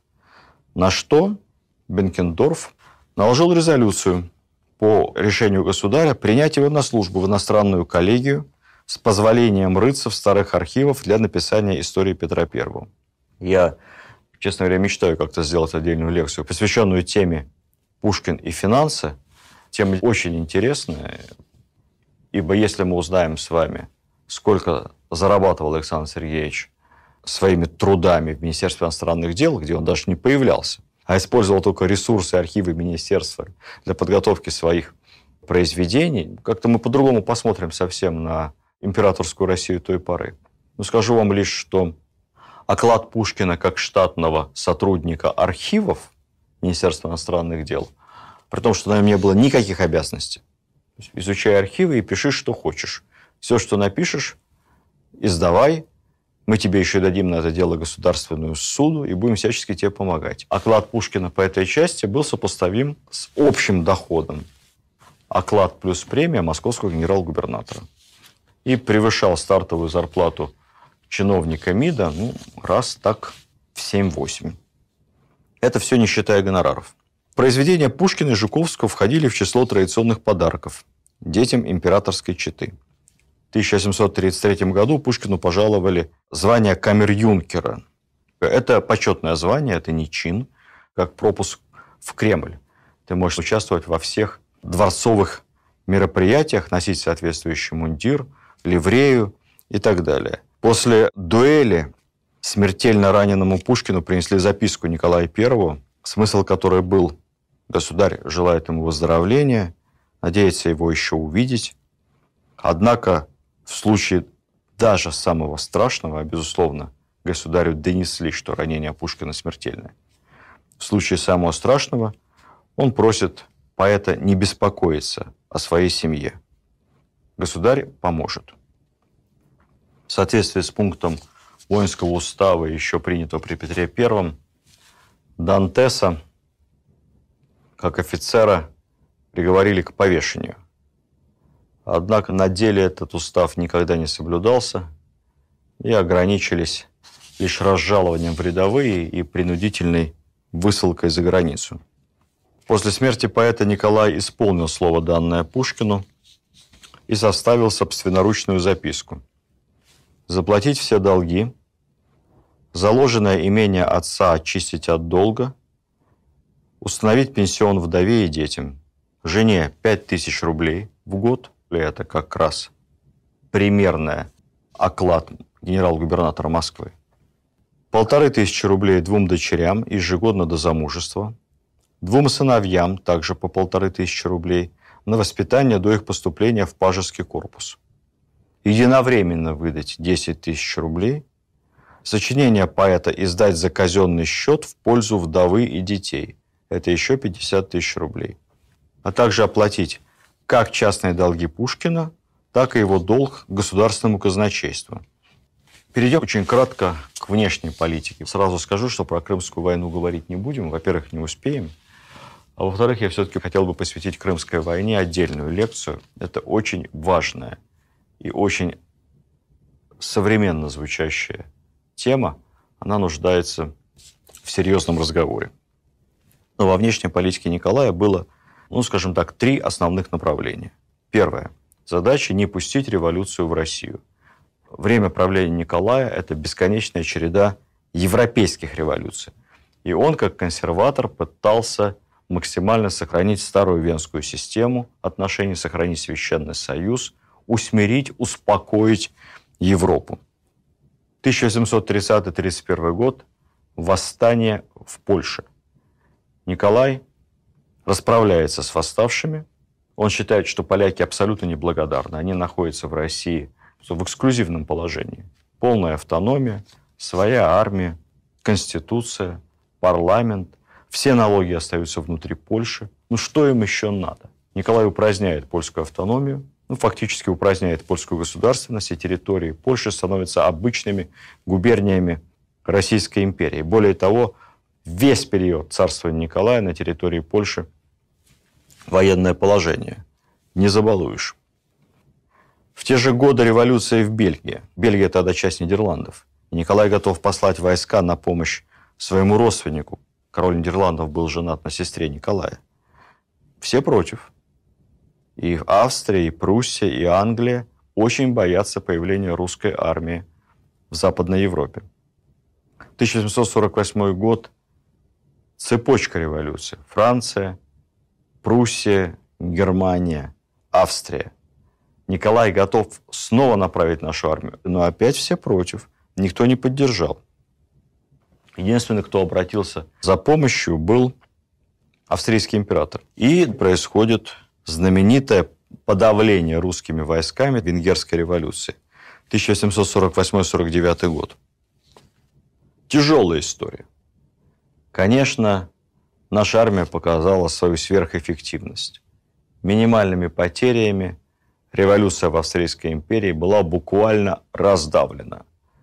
Однако было ли это выгодно России? Категорически нет. Без вмешательства Николая Австрийская империя однозначно развалилась бы на куски. И это означало бы, что все балканские территории, автономии и страны, населенные славянами, автоматически оказались бы в зоне влияния Российской империи и могли бы легко стать частью России. Но Николай удержался от соблазна и сказал, что бороться с революцией для него важнее, чем приращивать территорию Российской империи за счет слабого соседа. К сожалению, этот священный союз, эти обязательства ни для кого, кроме Николая, священными не были. И когда начнется Крымская война, Николай ощутит на себе, что такое благодарность европейцев. В отношении Польши, как ни удивительно, Николай пытался проявлять политику достаточно гибкую. И несколько раз задумывался о том, как Россия могла бы комфортно избавиться от этих неспокойных польских территорий. Он даже обдумывал вопрос с предоставлением частичной независимости. Либо же, еще лучше, ну как бы жалко и невозможно отпустить территорию, которую кровью завоевала Россия. Поэтому хотел сделать это с выгодой. Был проект обмена территориями, передать часть Польши Австрии, либо Пруссии в обмен на возвращение России земель Древней Галиции, Галицкого княжества. Но, к сожалению, австрийцы менять Галицию на Польшу не захотели. Вторым направлением было замерение Кавказа и укрепление российских границ на юге. На юге у нас два традиционных геополитических соперника. Две войны, русско-турецкая и русско-персидская. Обе триумфальная победа. Российская граница не только укрепляется, но еще и отодвигается. К России присоединяется Ереванское, Начхиванское ханство – причем обе эти войны не ложатся большим экономическим бременем на Россию, поскольку и Персия, и Турция платят большую контрибуцию, наше влияние на Балканах возрастает. Параллельно с этим происходит постепенно и замерение на Кавказе. Сначала Паскевич, затем Воронцов теснят кавказских горцев, хотя, конечно, окончательно Кавказская война завершится уже при Александре. Согласно турецко русскому миру Черное море становится фактически внутренним морем на двоих – Османской империи и Российской. Согласно этому мирному договору, Турция берет на себя обязательство по просьбе России закрывать проливы Босфор и Дарданеллы от любых иностранных судов. Никогда ни до этого, ни после не было столь выгодного для России режима использования Черного моря. Если бы нам удалось эту позицию удержать, то Черное море было бы наше и Турции, и больше ничего. Но если в Европе Николай старался придерживаться обязательств Венского конгресса, не наращивать русскую территорию, хотя возможности для этого все были, ограничиваться покровительством России над славянскими территориями, то подобного рода обязательств ни на юге, ни на востоке у Российской империи не было. На юге мы движемся в сторону Средней Азии, присоединяем земли современного Казахстана. Тогда казахов называли киргизами. Я, кстати, напомню, что формально часть территории современного Казахстана, так называемые младшие и средние жузы или орды, как тогда именовали, они приняли русское подданство давно. Давно и добровольно, еще в XVIII веке. В результате внешнего давления со стороны Джунгар они обратились за помощью к Российской империи. Российская империя взяла их под свое военное покровительство. Ну, подданство это было вполне номинальным, это же кочевники, платили там чисто формально небольшой налог и считались вассалами Российской империи. Постепенно при Николае мы начинаем двигаться еще дальше на юг. Начинается присоединение так называемого старшего ЖУЗа. Это район озера Балхаш – юг современного Казахстана.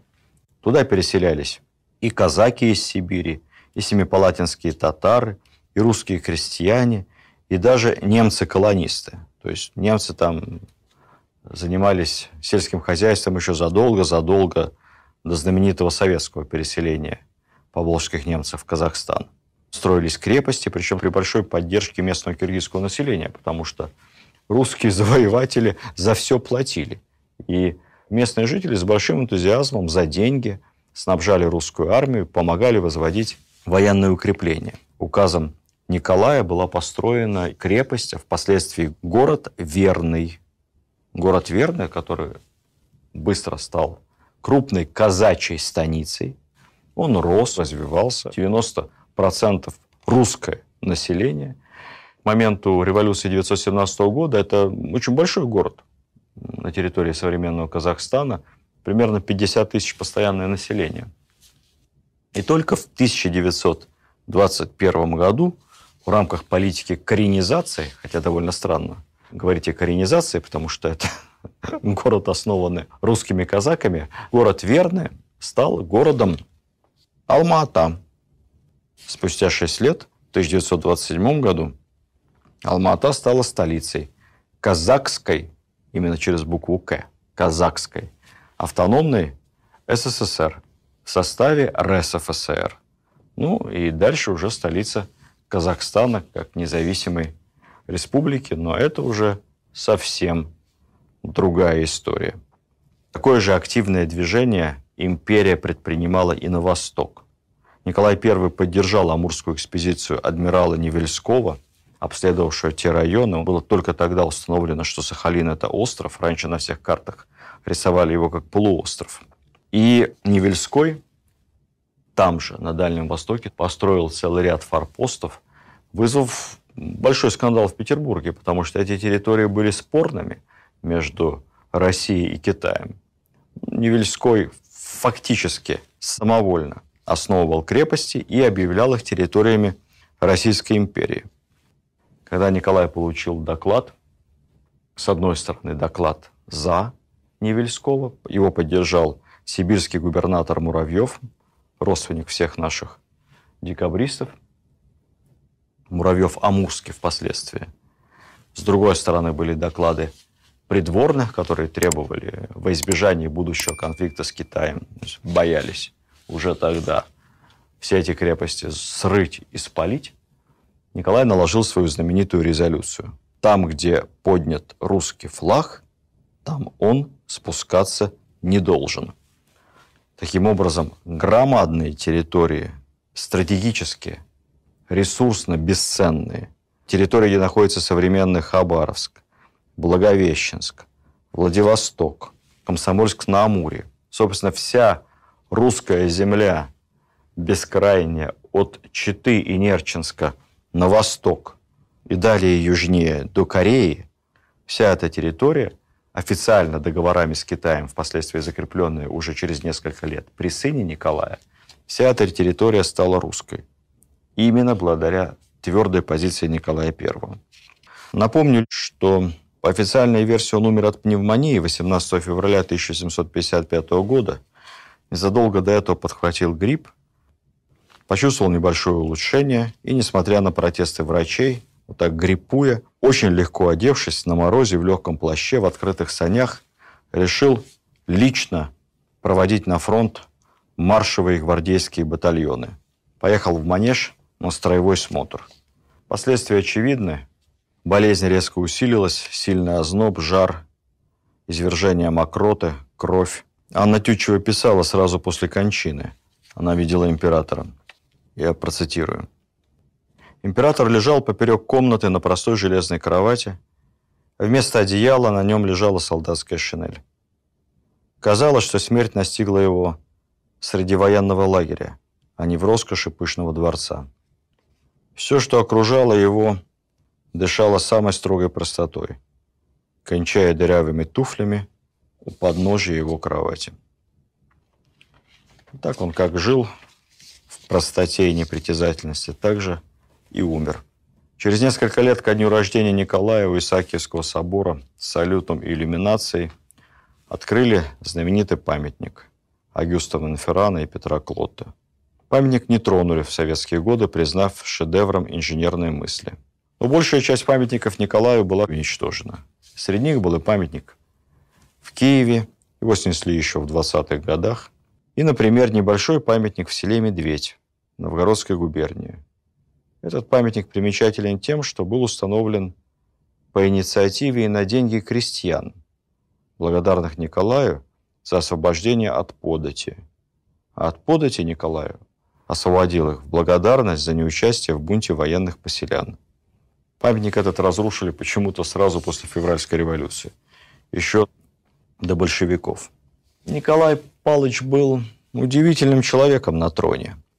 Практически все государи в мире, все абсолютные монархи, да и наш, в общем-то, не исключение, все его предшественники, начиная с Петра I, приходили к власти так либо иначе на штыках, в борьбе с оппозицией, в результате дворцовых переворотов, усмиряя восстания стрельцов, усмиряя мятежи.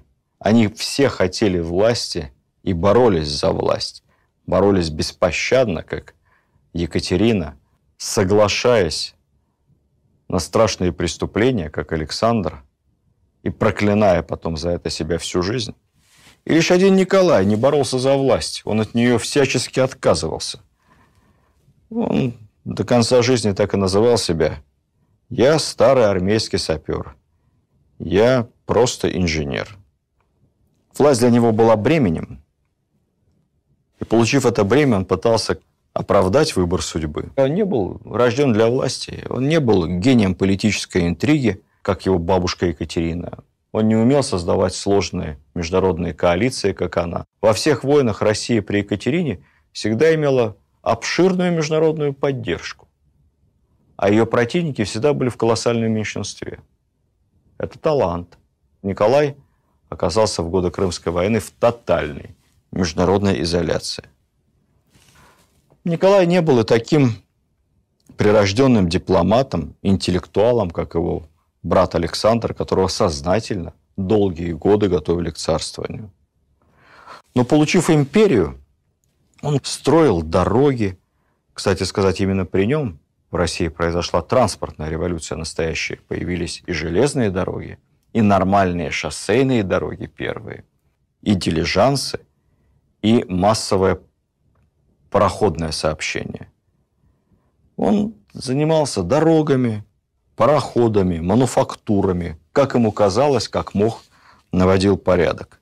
И, наверное, остался бы в нашей памяти действительно Николаем Незабвенным, если бы не одна страшная, огромная политическая ошибка в самом конце его жизни, которая, в общем-то, перечеркнула многое из того хорошего, что он сделал.